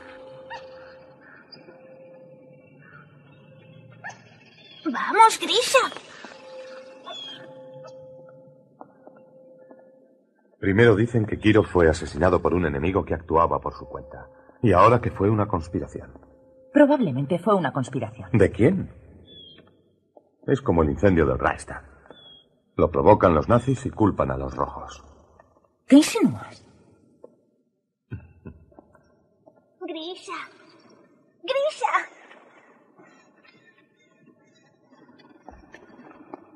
¿Por qué no quiere jugar conmigo? Los zorros son muy independientes. Y más los rojos. Criticar a mi padre o a su política se había convertido en un delito. Se consideraba una traición. Bujarin con mi hija, su joven esposa y su zorro. Le ha puesto el nombre de Grisha. Tu nombre es Zinoviev. Es un nombre común. Sí, desde luego. Pero confiesa que Bujarin le ha puesto ese nombre por ti. Kova. Reconócelo. Es posible. Pero no me lo ha dicho. Oh, reconócelo. Sí. Sí, le ha puesto ese nombre por ti. Sí. Bujarin le ha puesto ese nombre por mí. Kova. ¿Lo veis? Es muy fácil decir la verdad. Entonces, ¿por qué seguís mintiendo a los camaradas Yagoda y Yehov? ¿Son demasiado buenos con vosotros? Kova, tú y yo sabemos por experiencia propia que la policía del zar era blanda Oh, comparada oh, con la... ¿Y dónde está ahora el zar? Como tú nos conoces. Luchamos codo con codo para derrocar al viejo régimen. Y también para construir el nuevo. Bajo el inspirado liderazgo de Lenin y ¿Cómo puedes Stalin. pensar que íbamos a conspirar con el cam... con Trotsky para matar al camarada Kirov? Traidores. Aquí dice que los camaradas Zinoviev y Kamenev han conspirado con Trotsky. ¿Cómo has conseguido esas confesiones? ¿Cómo fueron obtenidas? Puedes decírnoslo, Kova. Tal vez sea que no entendéis las leyes. Medidas contra la delincuencia en los menores. Los niños por encima de los 12 años estarán sujetos a todo tipo de castigos, incluida... Incluida la muerte. Sí. Incluida la muerte. Háblale al camarada Kamenev de las pruebas contra su hijo. Tu hijo ha sido visto en los alrededores de la nueva Dasha de Stalin a las afueras de Moscú. Preparando un atentado contra mi vida. Imposible. Solo tiene 14 años. ¿Hay pruebas? Invenciones. Hay pruebas. Mi hijo nunca sería capaz de... ¿Cómo hacer- puedes pedirnos que digamos que conspiramos con los hitlerianos? ¿Quién puede creer eso? Cualquiera que oiga o lea vuestra confesión. Y el mundo entero la oirá, la leerá y la creerá.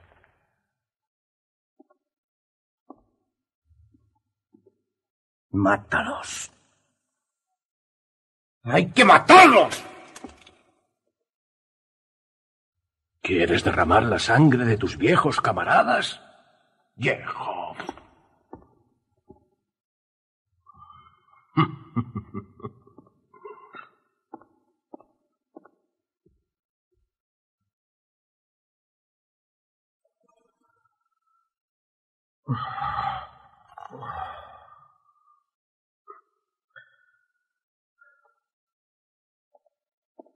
Si confesamos, ¿nos prometes que no será ejecutado ningún otro camarada? Y que sus familias no sufrirán ningún daño. Las familias es lo que importa. Y nos perdonarás la vida. Claro, eso se da, por supuesto.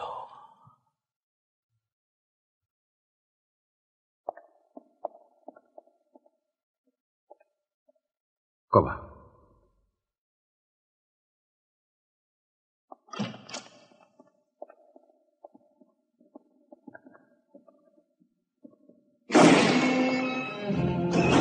Ha mentido.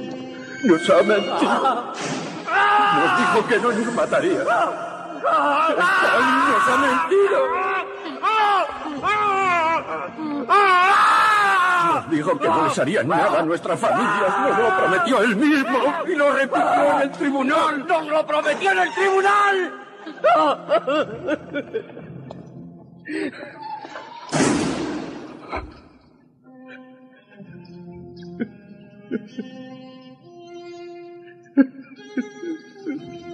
Dijo que nos perdonaría la vida si confesábamos. El camarada Stalin ha revocado su promesa. Grisa, cállate. Sé valiente. Demuéstrales cómo mueren los hombres que lucharon con Lenin.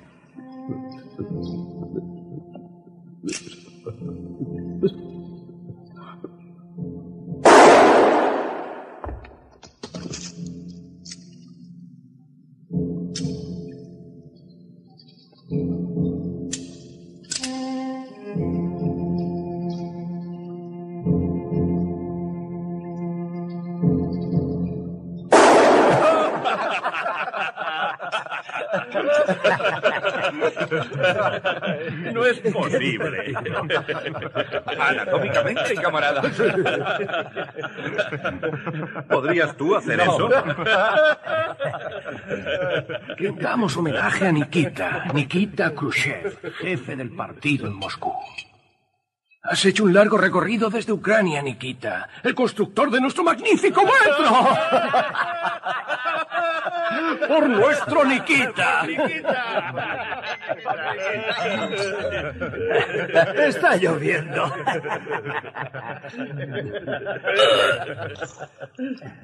Enséñame las manos, Nikita. Tiene las uñas sucias. Oh. ¿Cómo se atreve a sentarse a la mesa de Stalin con las uñas sucias? Muy mal. Es de trabajar en el campo. Escucha estos camaradas, sus manos están limpias y sus uñas están impecables. Mira, estas manos ya no trabajan. Son las manos de un caballero. Enseñad las manos. Las manos de estos camaradas han olvidado su origen proletario. Niquita. Niquita. Por Niquita. Por Ay, ay, ay. Yo soy un traidor, no soy un traidor. Yo no he conspirado, no soy un traidor. Ay, ay, ay. Mi familia. ¿Qué va a ser de mi familia? ¿Qué va a ser de ellos? Yo yo he hecho la revolución con Lenin. Oh, piedad, piedad, piedad.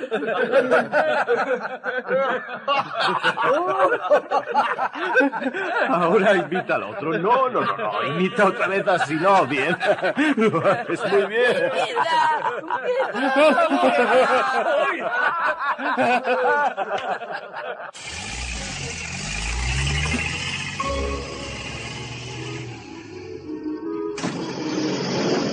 Me sorprende que no presenciaras la ejecución de Sinoviev y Kamenev. Enviaste a Beria. Porque pensé que no tendrías estómago para ello. No hubiera sido la primera ejecución que presencio. No, pero en el fondo sigues siendo un boticario. Se te da muy bien mezclar venenos y también eres muy bueno organizando conspiraciones y participando en ellas. Yehov va a sustituirte. Llévate ese coche a Moscú.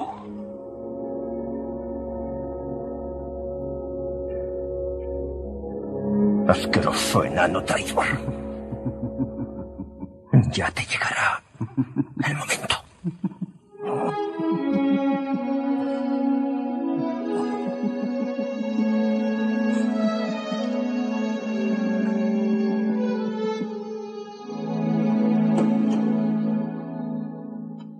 Ana. Ana. Han matado a Kamenev y a Zinoviev. ¿Qué? No solo a ellos. Y he oído el rumor de que me han implicado a mí. ¿Qué? ¿Cómo es posible? En estos tiempos todo es posible. Los viejos camaradas se echan unos sobre otros para implicar a los demás y salvar la vida. Si Lenin estuviera vivo. Ten cuidado. Sí. Sí. Me están ocurriendo cosas muy sospechosas. Él sabe que yo comprendo por qué mataron a Kirov. He descubierto su juego. El rey de la conspiración acusa a todos los demás de conspirar.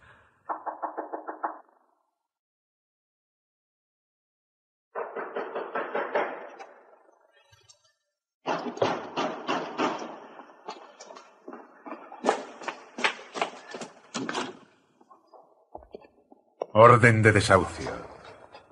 Dispones de una hora. Pero, ¿cómo es que... mi- mis libros, mis... mis papeles, mi mujer, nuestro hijo... Son mis órdenes. Fuera. Una hora.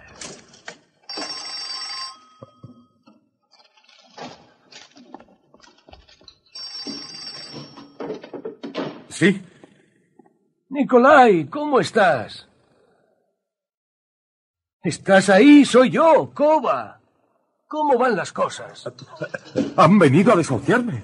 ¿Qué? La casa está llena de soldados. Pues échalos de tu casa. Ponme con el oficial. Le diré que se larguen. Para ti, el camarada Stalin.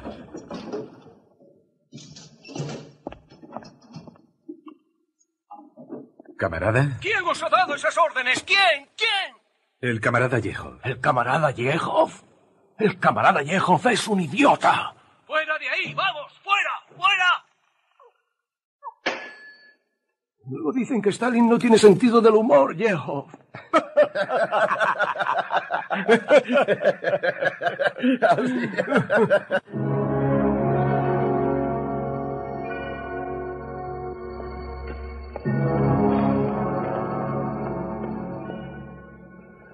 Oh.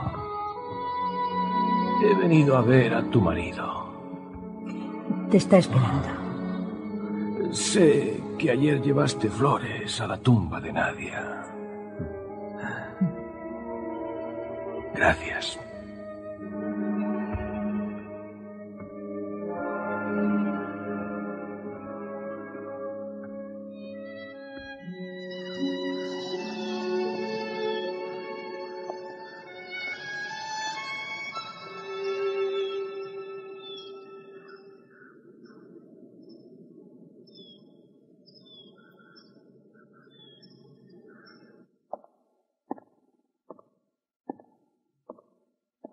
Esto es para ti.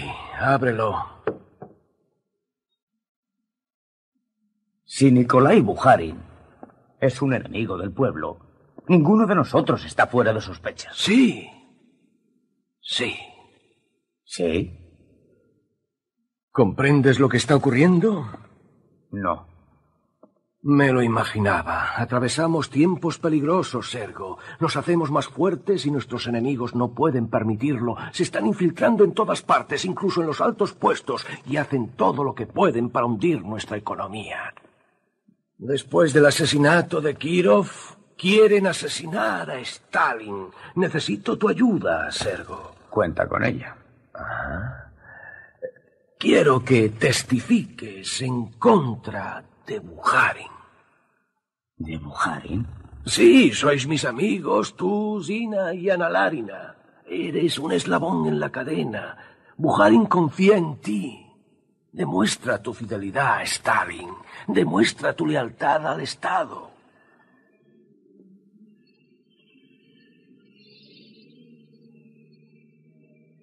¿Quieres que yo acuse a Bujarin para poder llevarle a juicio y matarle? ¿Por qué hacer todo eso? Es más fácil. Nuestro gran líder defiende al pueblo soviético. Espera. Hazlo tú. Mata tú mismo a Bujarin. ¿Tienes agallas? Deja eso, no creas que me asustan las pistolas. No, déjala. Ahí.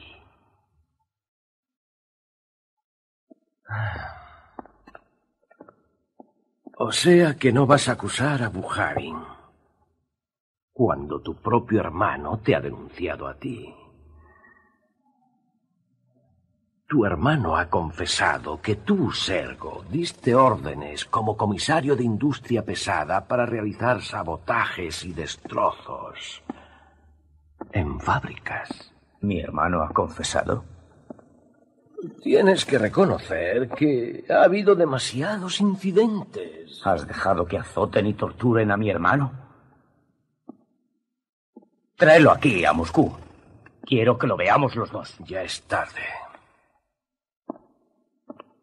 ¿Ya es tarde? Sí, es tarde. Malnacido. Los matarás a todos. No, Sergo, Sergo, no. Tú no matarás al camarada Stalin. Si lo hicieras, el país caería en el caos. Nos invadirían los fascistas. Se apoderarían del país y tú pasarías a la historia como el hombre que entregó Rusia a los alemanes. Y el pueblo. El pueblo os mataría a ti, a tu mujer y a tus hijos. Todo el que llevase el nombre de Orchinikitze te haría pedazos. Se comería tu corazón y se bebería tu sangre. No, no, no, no. Tú no matarás al camarada Stalin, no. Es mejor que te mates a ti mismo. Y lo consideraremos mm, un ataque al corazón causado por el exceso de trabajo del camarada Orchinikidze, un héroe de gloriosa muerte de la Unión Soviética.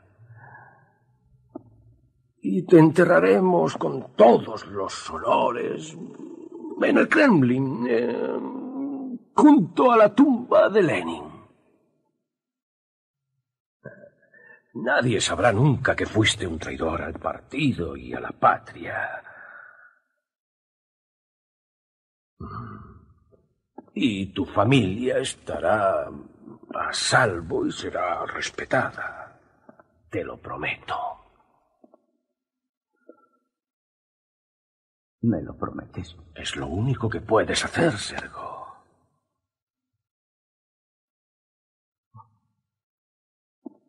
Espera.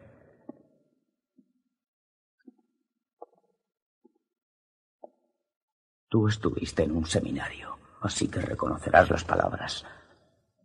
Así lo he visto, los que ladran maldad y siembran malas hierbas. Eso cosechan. Es del libro de Job. Bajo el aliento de Dios perecen estos y desaparecen al soplo de su ira divina.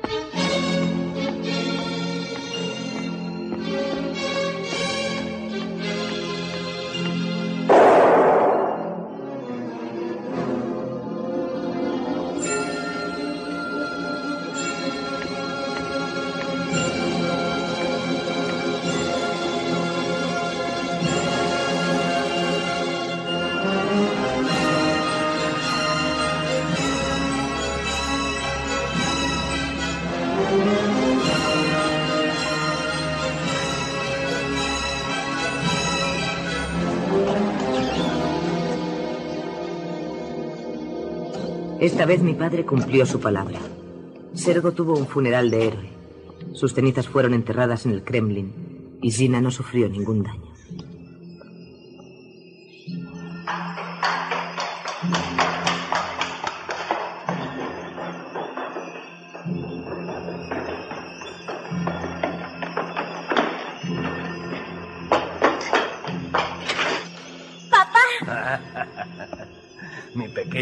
Casa se ha convertido en portera. Camarada portera. ¿De dónde has sacado ese vestido? Te queda muy corto. Tápate las rodillas. Mira tus piernas, están desnudas.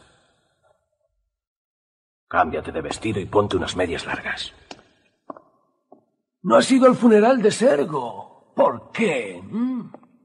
Es que... No me encuentro muy bien hoy.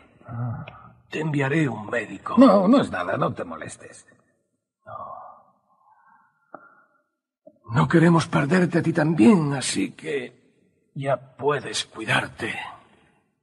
Sergo no lo hizo. Un ataque al corazón. Sí. Todos echan a volar, como los pájaros de una rama. Como los pájaros de una rama. Perdóname, soy una mujer sencilla. Yo no entiendo nada. No, no, no puedo entender cómo es que de repente tenemos tantos enemigos. Olga.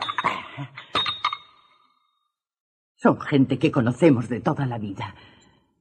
Son oficiales del ejército. Hombres leales al partido. Amigos tuyos. Héroes de la guerra civil. Ya, ya, ya. ¿Qué está pasando? ¿Por qué muere tanta gente? Puedes decírmelo. ¿Y por qué todos los que conocieron a mi hija, los que querían a Nadia, están desapareciendo o son detenidos? ¿Quién les está destrozando? Eres tú. Cállate, Olga. ¿Por qué? ¿Por qué no nos detienes a todos? Sí, ¿por qué no?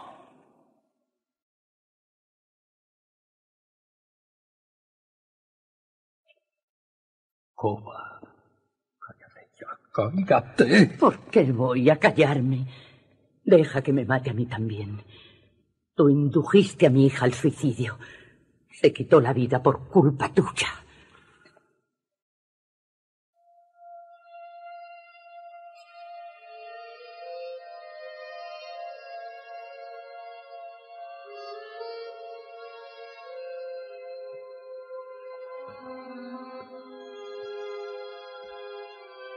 Así estás mejor, mucho mejor.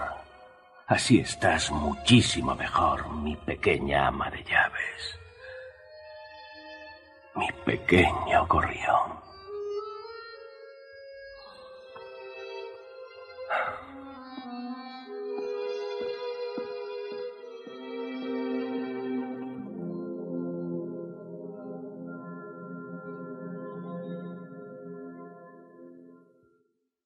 Acusado Buhari.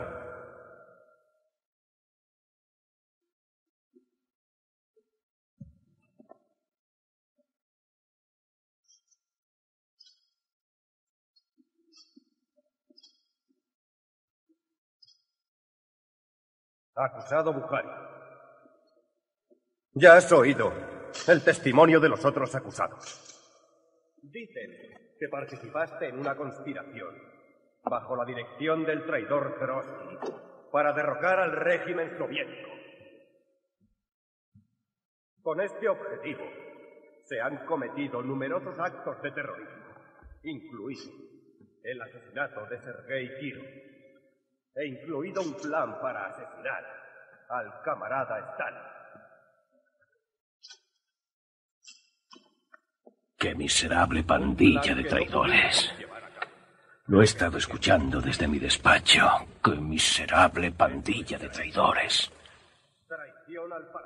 Les alivia mucho confesar. y ahora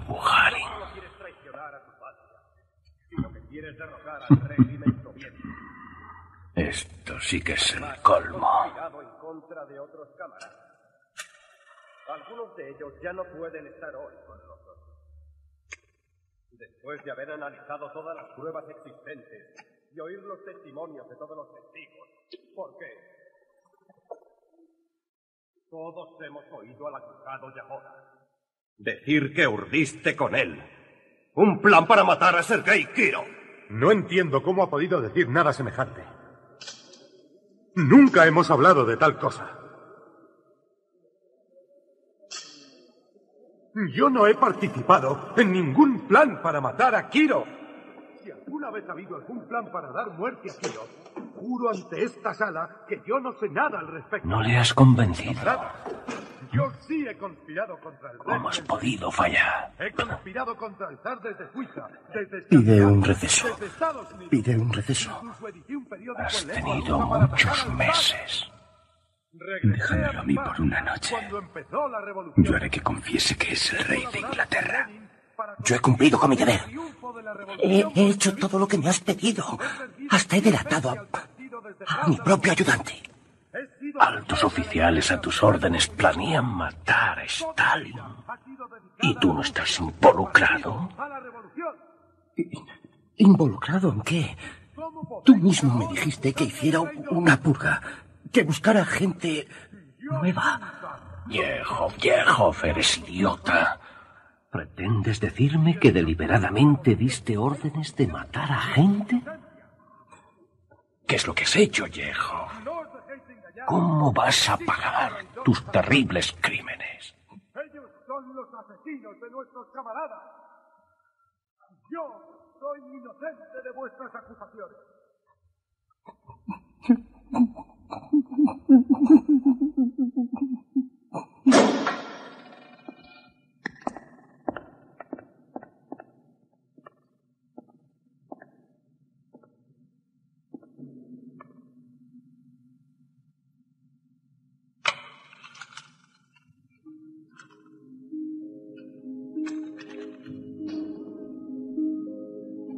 Para el camarada Stalin.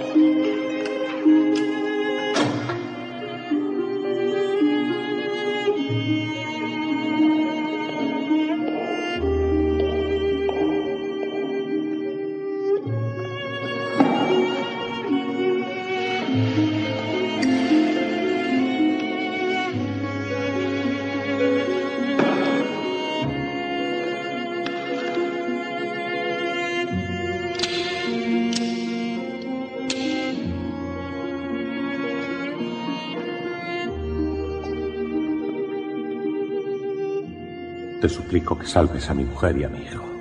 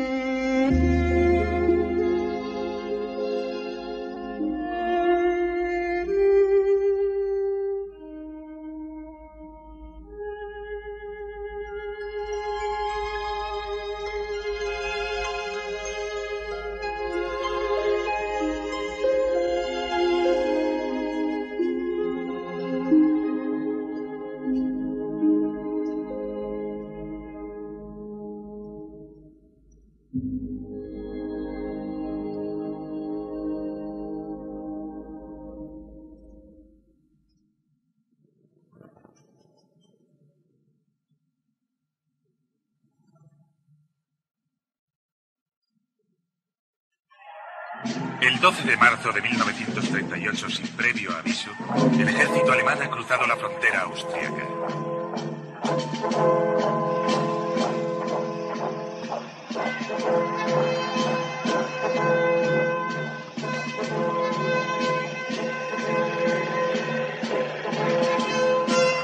Ha sido realmente una invasión a toda escala y Hitler ha entrado triunfante en Viena. Una acción nefasta. No sé, no sé. Hay que admirar a Hitler. Sabe lo que quiere. No le tiene miedo a nada. Asusta a los ingleses y a los franceses, pero no al camarada Stalin. Es un fascista que quiere destruirnos. Lo ha dicho mil veces. Dice muchas cosas, como todos. Yo creo que Hitler mira ahora al este y piensa con Stalin yo podría colaborar.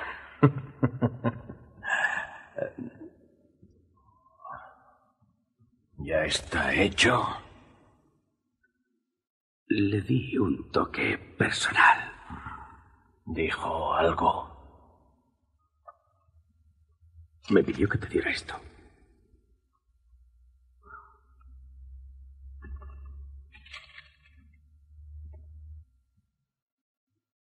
¿Cómo? ¿Por qué necesitabas mi muerte? ¿Por qué?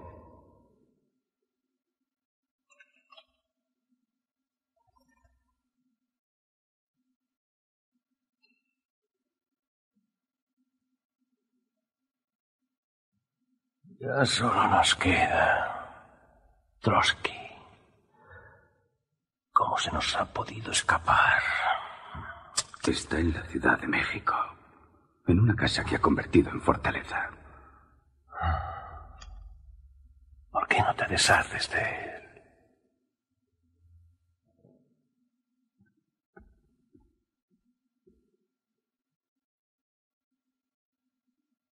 Jacob había ido a una escuela militar y había entrado en el ejército, tratando en vano de conseguir la aprobación de nuestro padre. Has tenido una nieta. O sea que vas a ser oficial de artillería. Sí, la vamos a Espero llamar. que no dispares contra nuestras filas. Cumpliré con mi deber. Con tantos traidores en los altos cargos, los tenientes como tú pronto dirigiréis divisiones. Haré todo lo que se me pida. Jacob.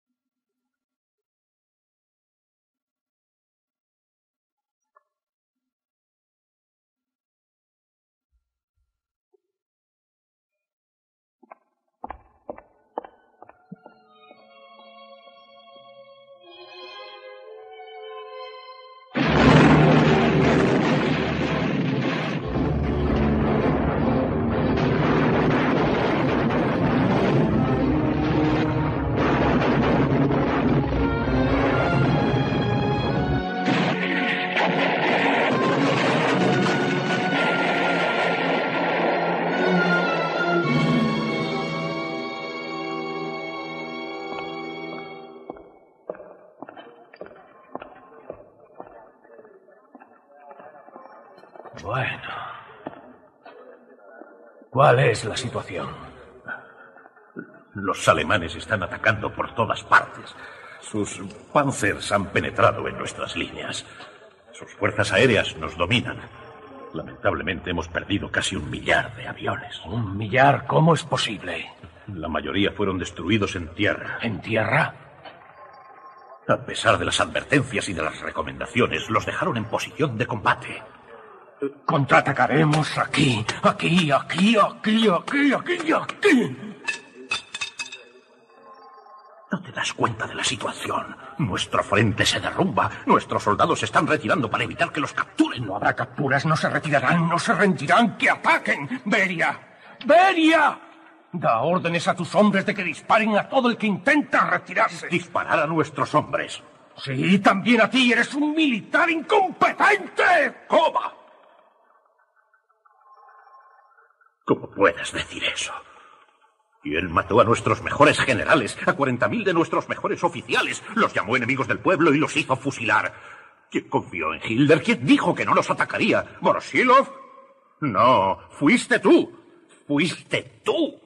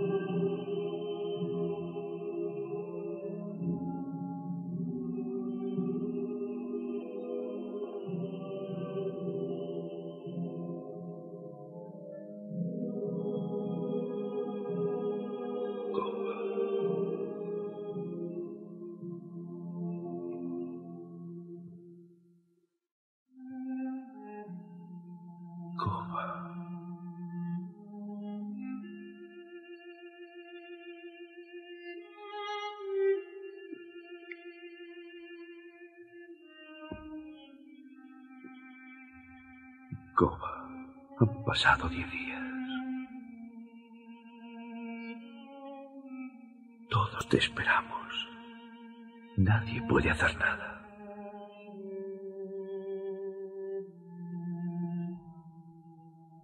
Coba, todos te quieren. Todos gritan. Camarada Stalin,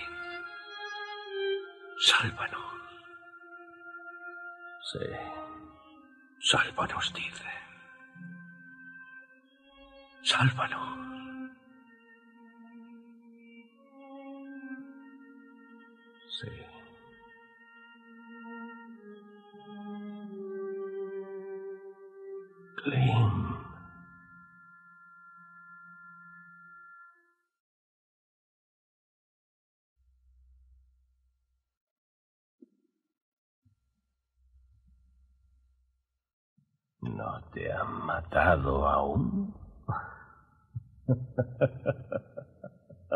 ¿Cómo van a hacerlo?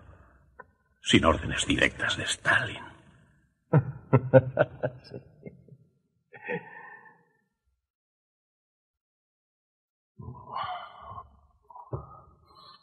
Camaradas, ciudadanos, hermanos y hermanas, estamos unidos en una guerra patriótica contra un enemigo que pretende convertirnos por la fuerza en esclavos de los alemanes.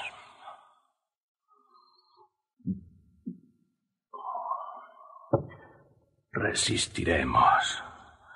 Perseguiremos y aniquilaremos al enemigo. No tendremos clemencia. Hitler acabará como Napoleón. Derrotado. Desesperado. Y muerto.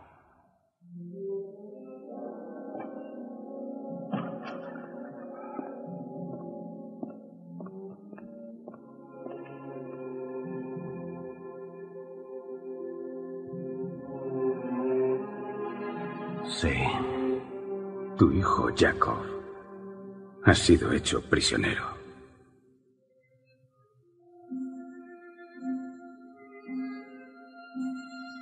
No tengo ningún hijo llamado Yakov. No.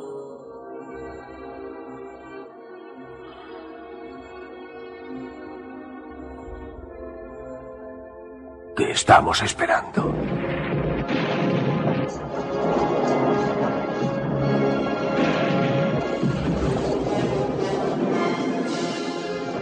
Apenas vi a mi padre durante la guerra.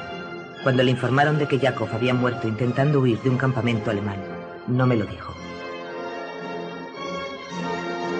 Los alemanes llegaron hasta las mismas puertas de Moscú y también rodearon Leningrado.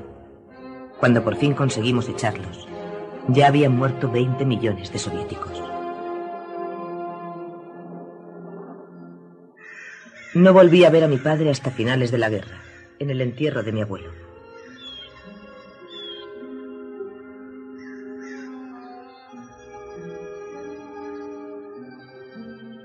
Era la primera vez desde hacía años que la familia estaba reunida. Al menos Sergei supo que hicimos todo lo que pudimos. Tuvo los mejores médicos. Le mató el silencio, no murió de cáncer. Mantuvo el silencio mientras sus amigos, sus camaradas, iban a la cárcel y eran asesinados. Cierra la boca. ¿Y tú qué has hecho, bruja? Mirad a mi hijo el general. ¿Puedes tenerte en pie, Basili?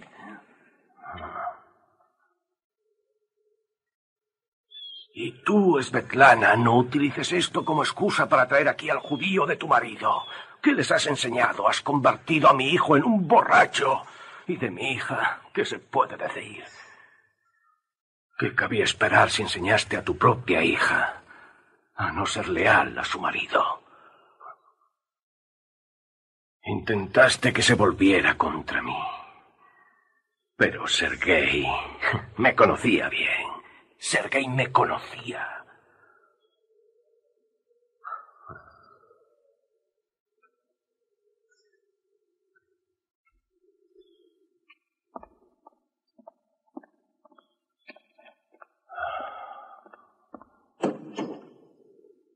Encierra a ese borracho unos días hasta que esté sobrio. Qué desgracia tener una familia así.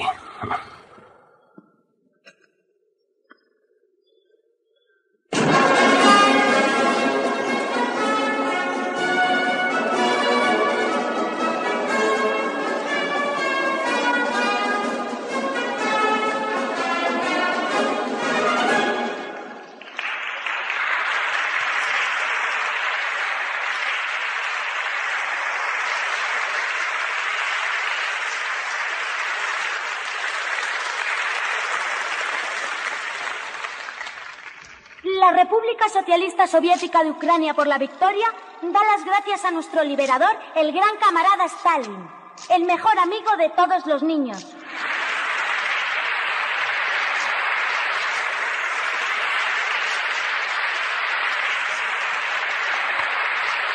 La República Socialista Soviética de Uzbek da las gracias a nuestro gran líder, el gran camarada Stalin, por la victoria.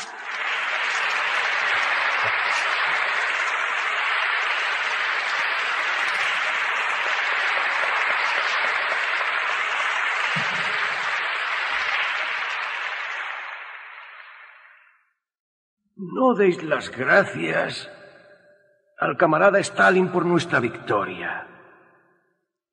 Sabemos que no ha sido Stalin quien ha derrotado a los salvajes. Has sido tú. No. No demos las gracias al camarada Stalin por nuestra victoria. Hemos de dar las gracias al gran pueblo ruso.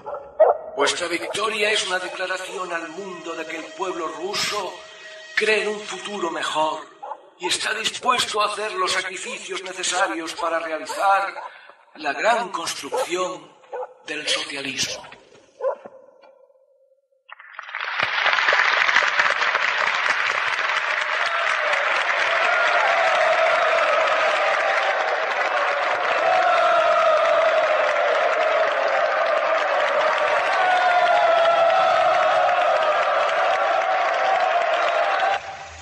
En el invierno de 1950, mi padre mandó a buscarme.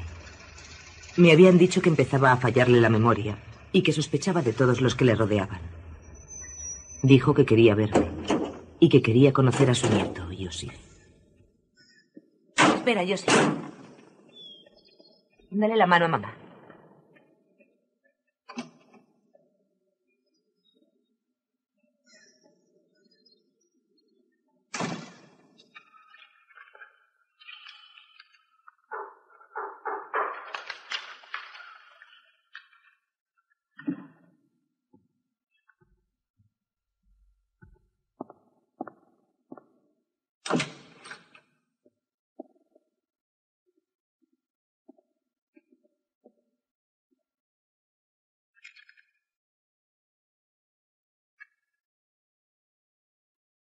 Saluda al abuelo.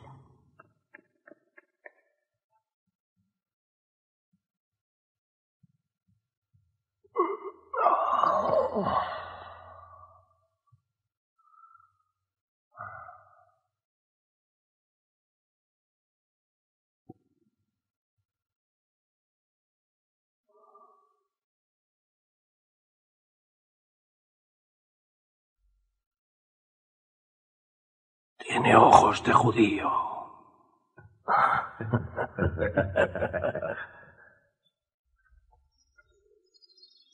Mira, ¿quién es ese hombre? Alguien que se encarga de que todo esté en orden. No hagas tantas preguntas. ¿Por qué? Porque hay cosas que no tienes que saber. ¿Por qué? ¿Por qué? ¿Por qué? ¿Por qué? Un pequeño judío, ¿eh?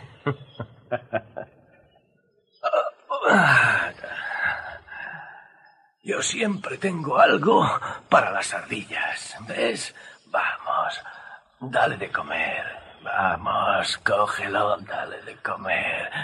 Vamos, dale de comer. Eh. Oh, bien. ¿Por qué me miras?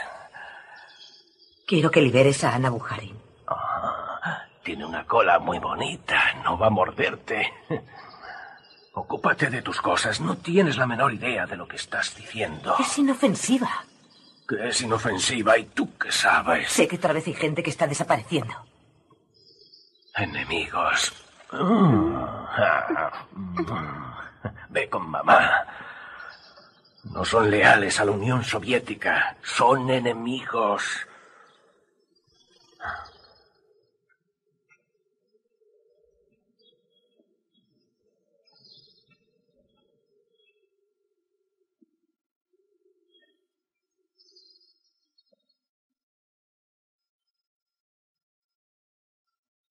El abuelo es simpático. Sí.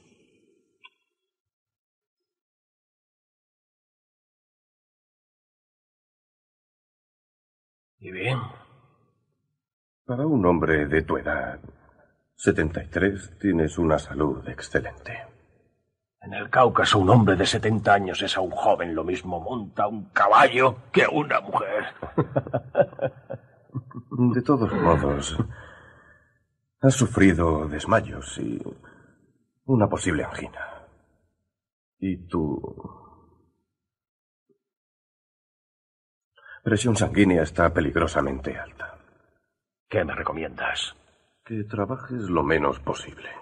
Frutas, verduras, inyecciones de vitaminas. Inyecciones no. Te recetaré unas píldoras. Nada de píldoras, yo tengo mis propios remedios. Vete de vacaciones, no trabajes, descansa. ¿No es eso lo que le decían a Lenin? Gracias, Vinogradov. ya puedes marcharte.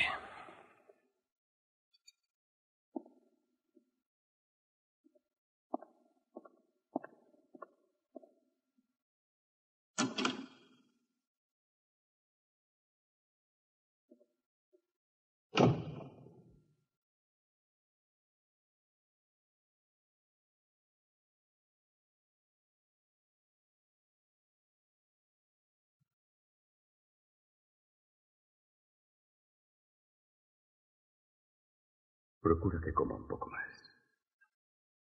Está muy difícil. señor.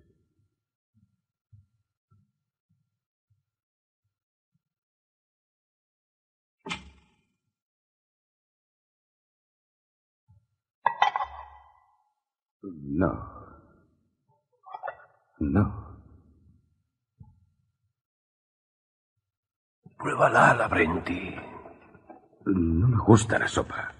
Pruébala.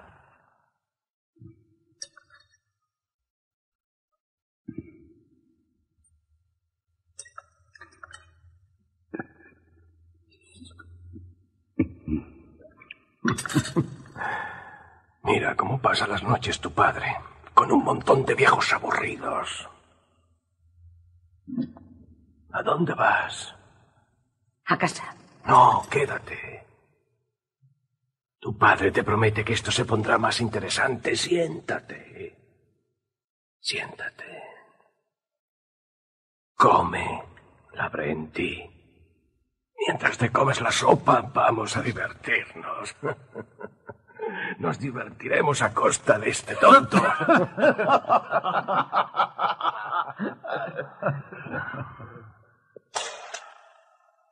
Baila, Nikita. No, Stalin no. pone la música. No, Vamos. yo no sé baila, bailar, baila. Baila. Hombre, que no, que no. Sé que bailas en el pack. No sé quién me lo ha dicho. Nikita, Baila en el oh, pack. No seas Bueno, tirpa. Nikita, venga. Anda, baila.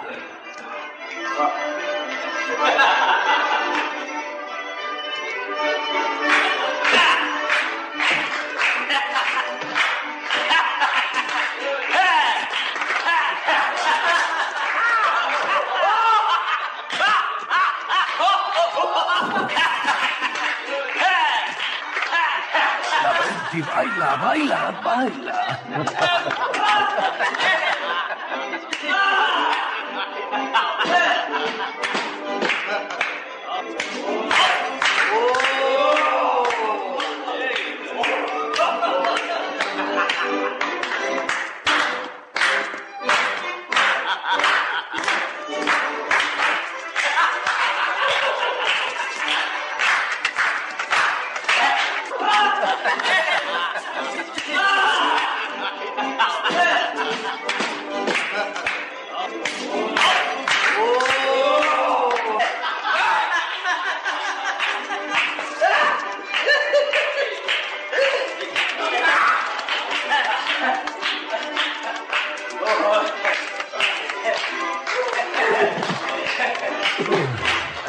Estoy sin aliento.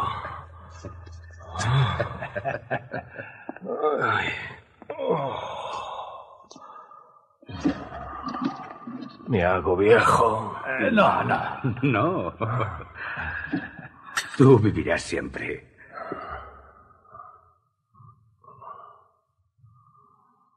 Sí, tendré que hacerlo. ¿Quién podría seguir a Stalin?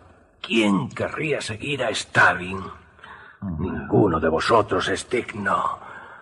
Así que voy a deshacerme de todos vosotros.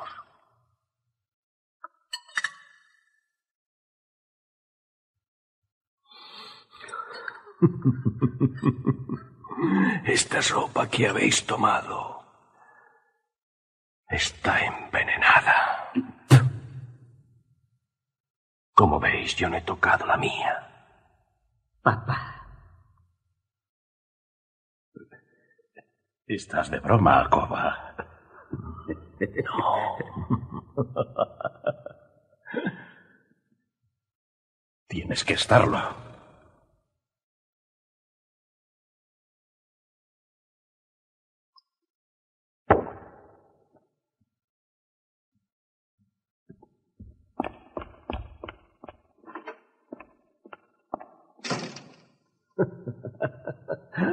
¿Lo ves? Es divertido.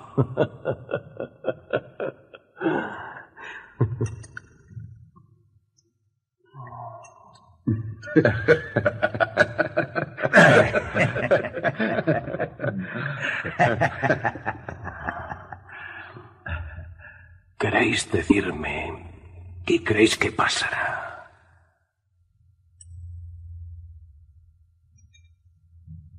Sin Stalin.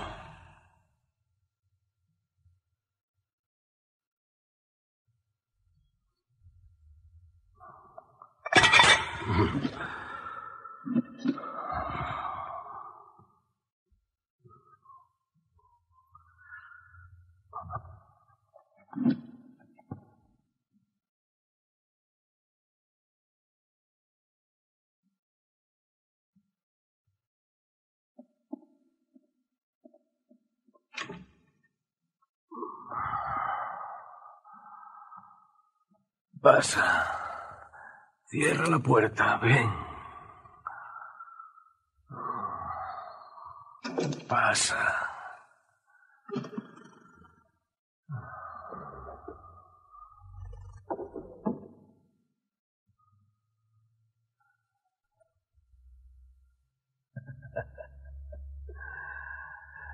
Yo quería mucho a tu madre. Era hermosa, pero era bastante tonta. No comprendía la situación, lo que había pasado, lo que yo tenía que hacer.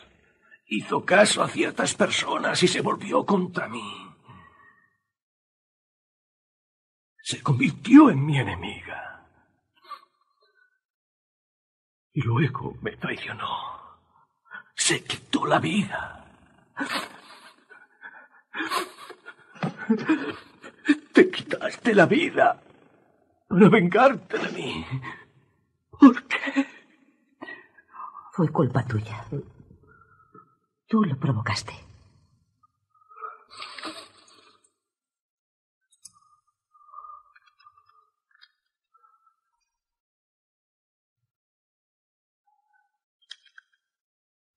Eres igual que ella.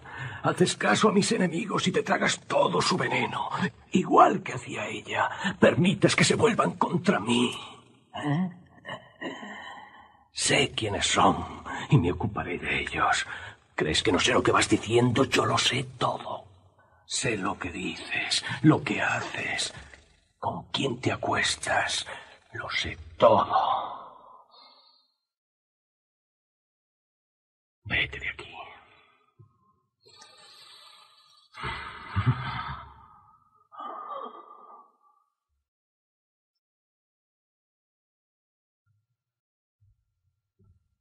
Márchate. Márchate. Papá.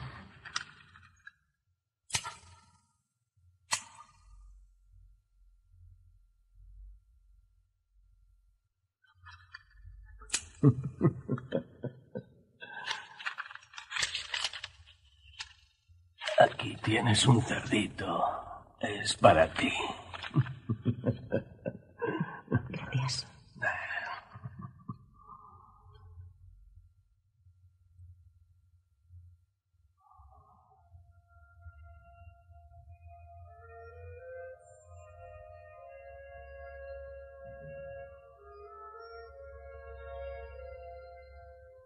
Dos chicas malas.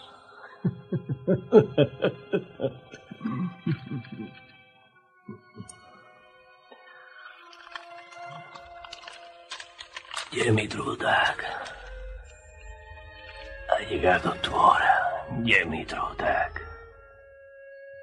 Jimmy Drudag. Ten, pégala.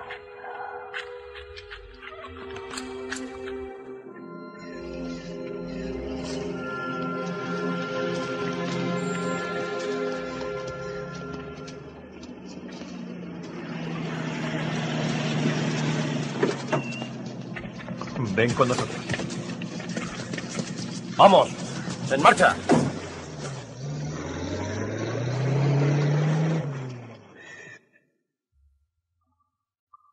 Usted es médico, ¿no? Pues sujétele la mano como es debido.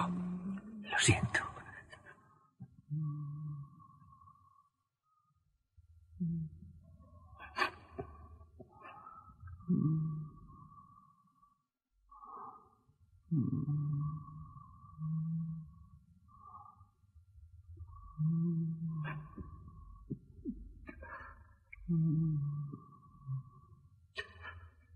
Es un derrame cerebral. No puede respirar.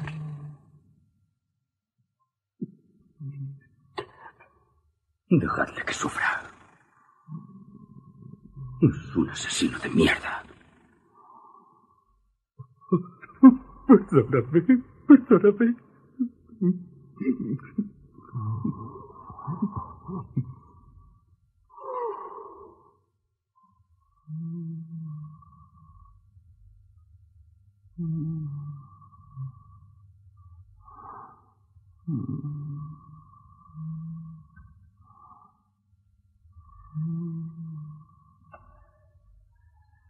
Mm-hmm.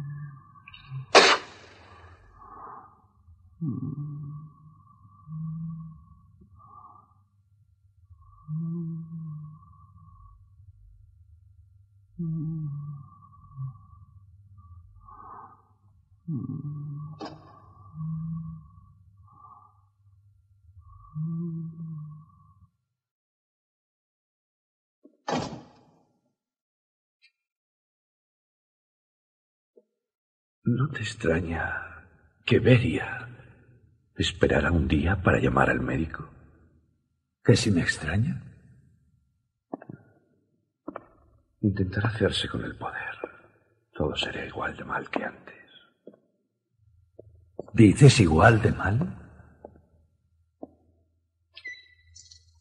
¿He dicho eso? Sí. ¿Lo has pensado bien? ¿Has pensado en lo que diremos cuando muera Stalin? ¿Sobre qué? Sobre sus crímenes. ¿Qué crímenes? Miles. Nikita, eres demasiado emotivo. Hablas demasiado. ¿Quiénes somos nosotros para juzgar a Stalin? Antes de él éramos un país débil y atrasado, y ahora míranos, controlamos la mitad de Europa y toda China. Tenemos la bomba atómica. El mundo entero nos respeta. Sin Stalin, nos habría llevado 20 años más. Yo no estoy de acuerdo. Sin las purgas, las detenciones y los asesinatos. Sin Stalin, podríamos haber sido una gran nación. Nuestra historia exigía un Stalin.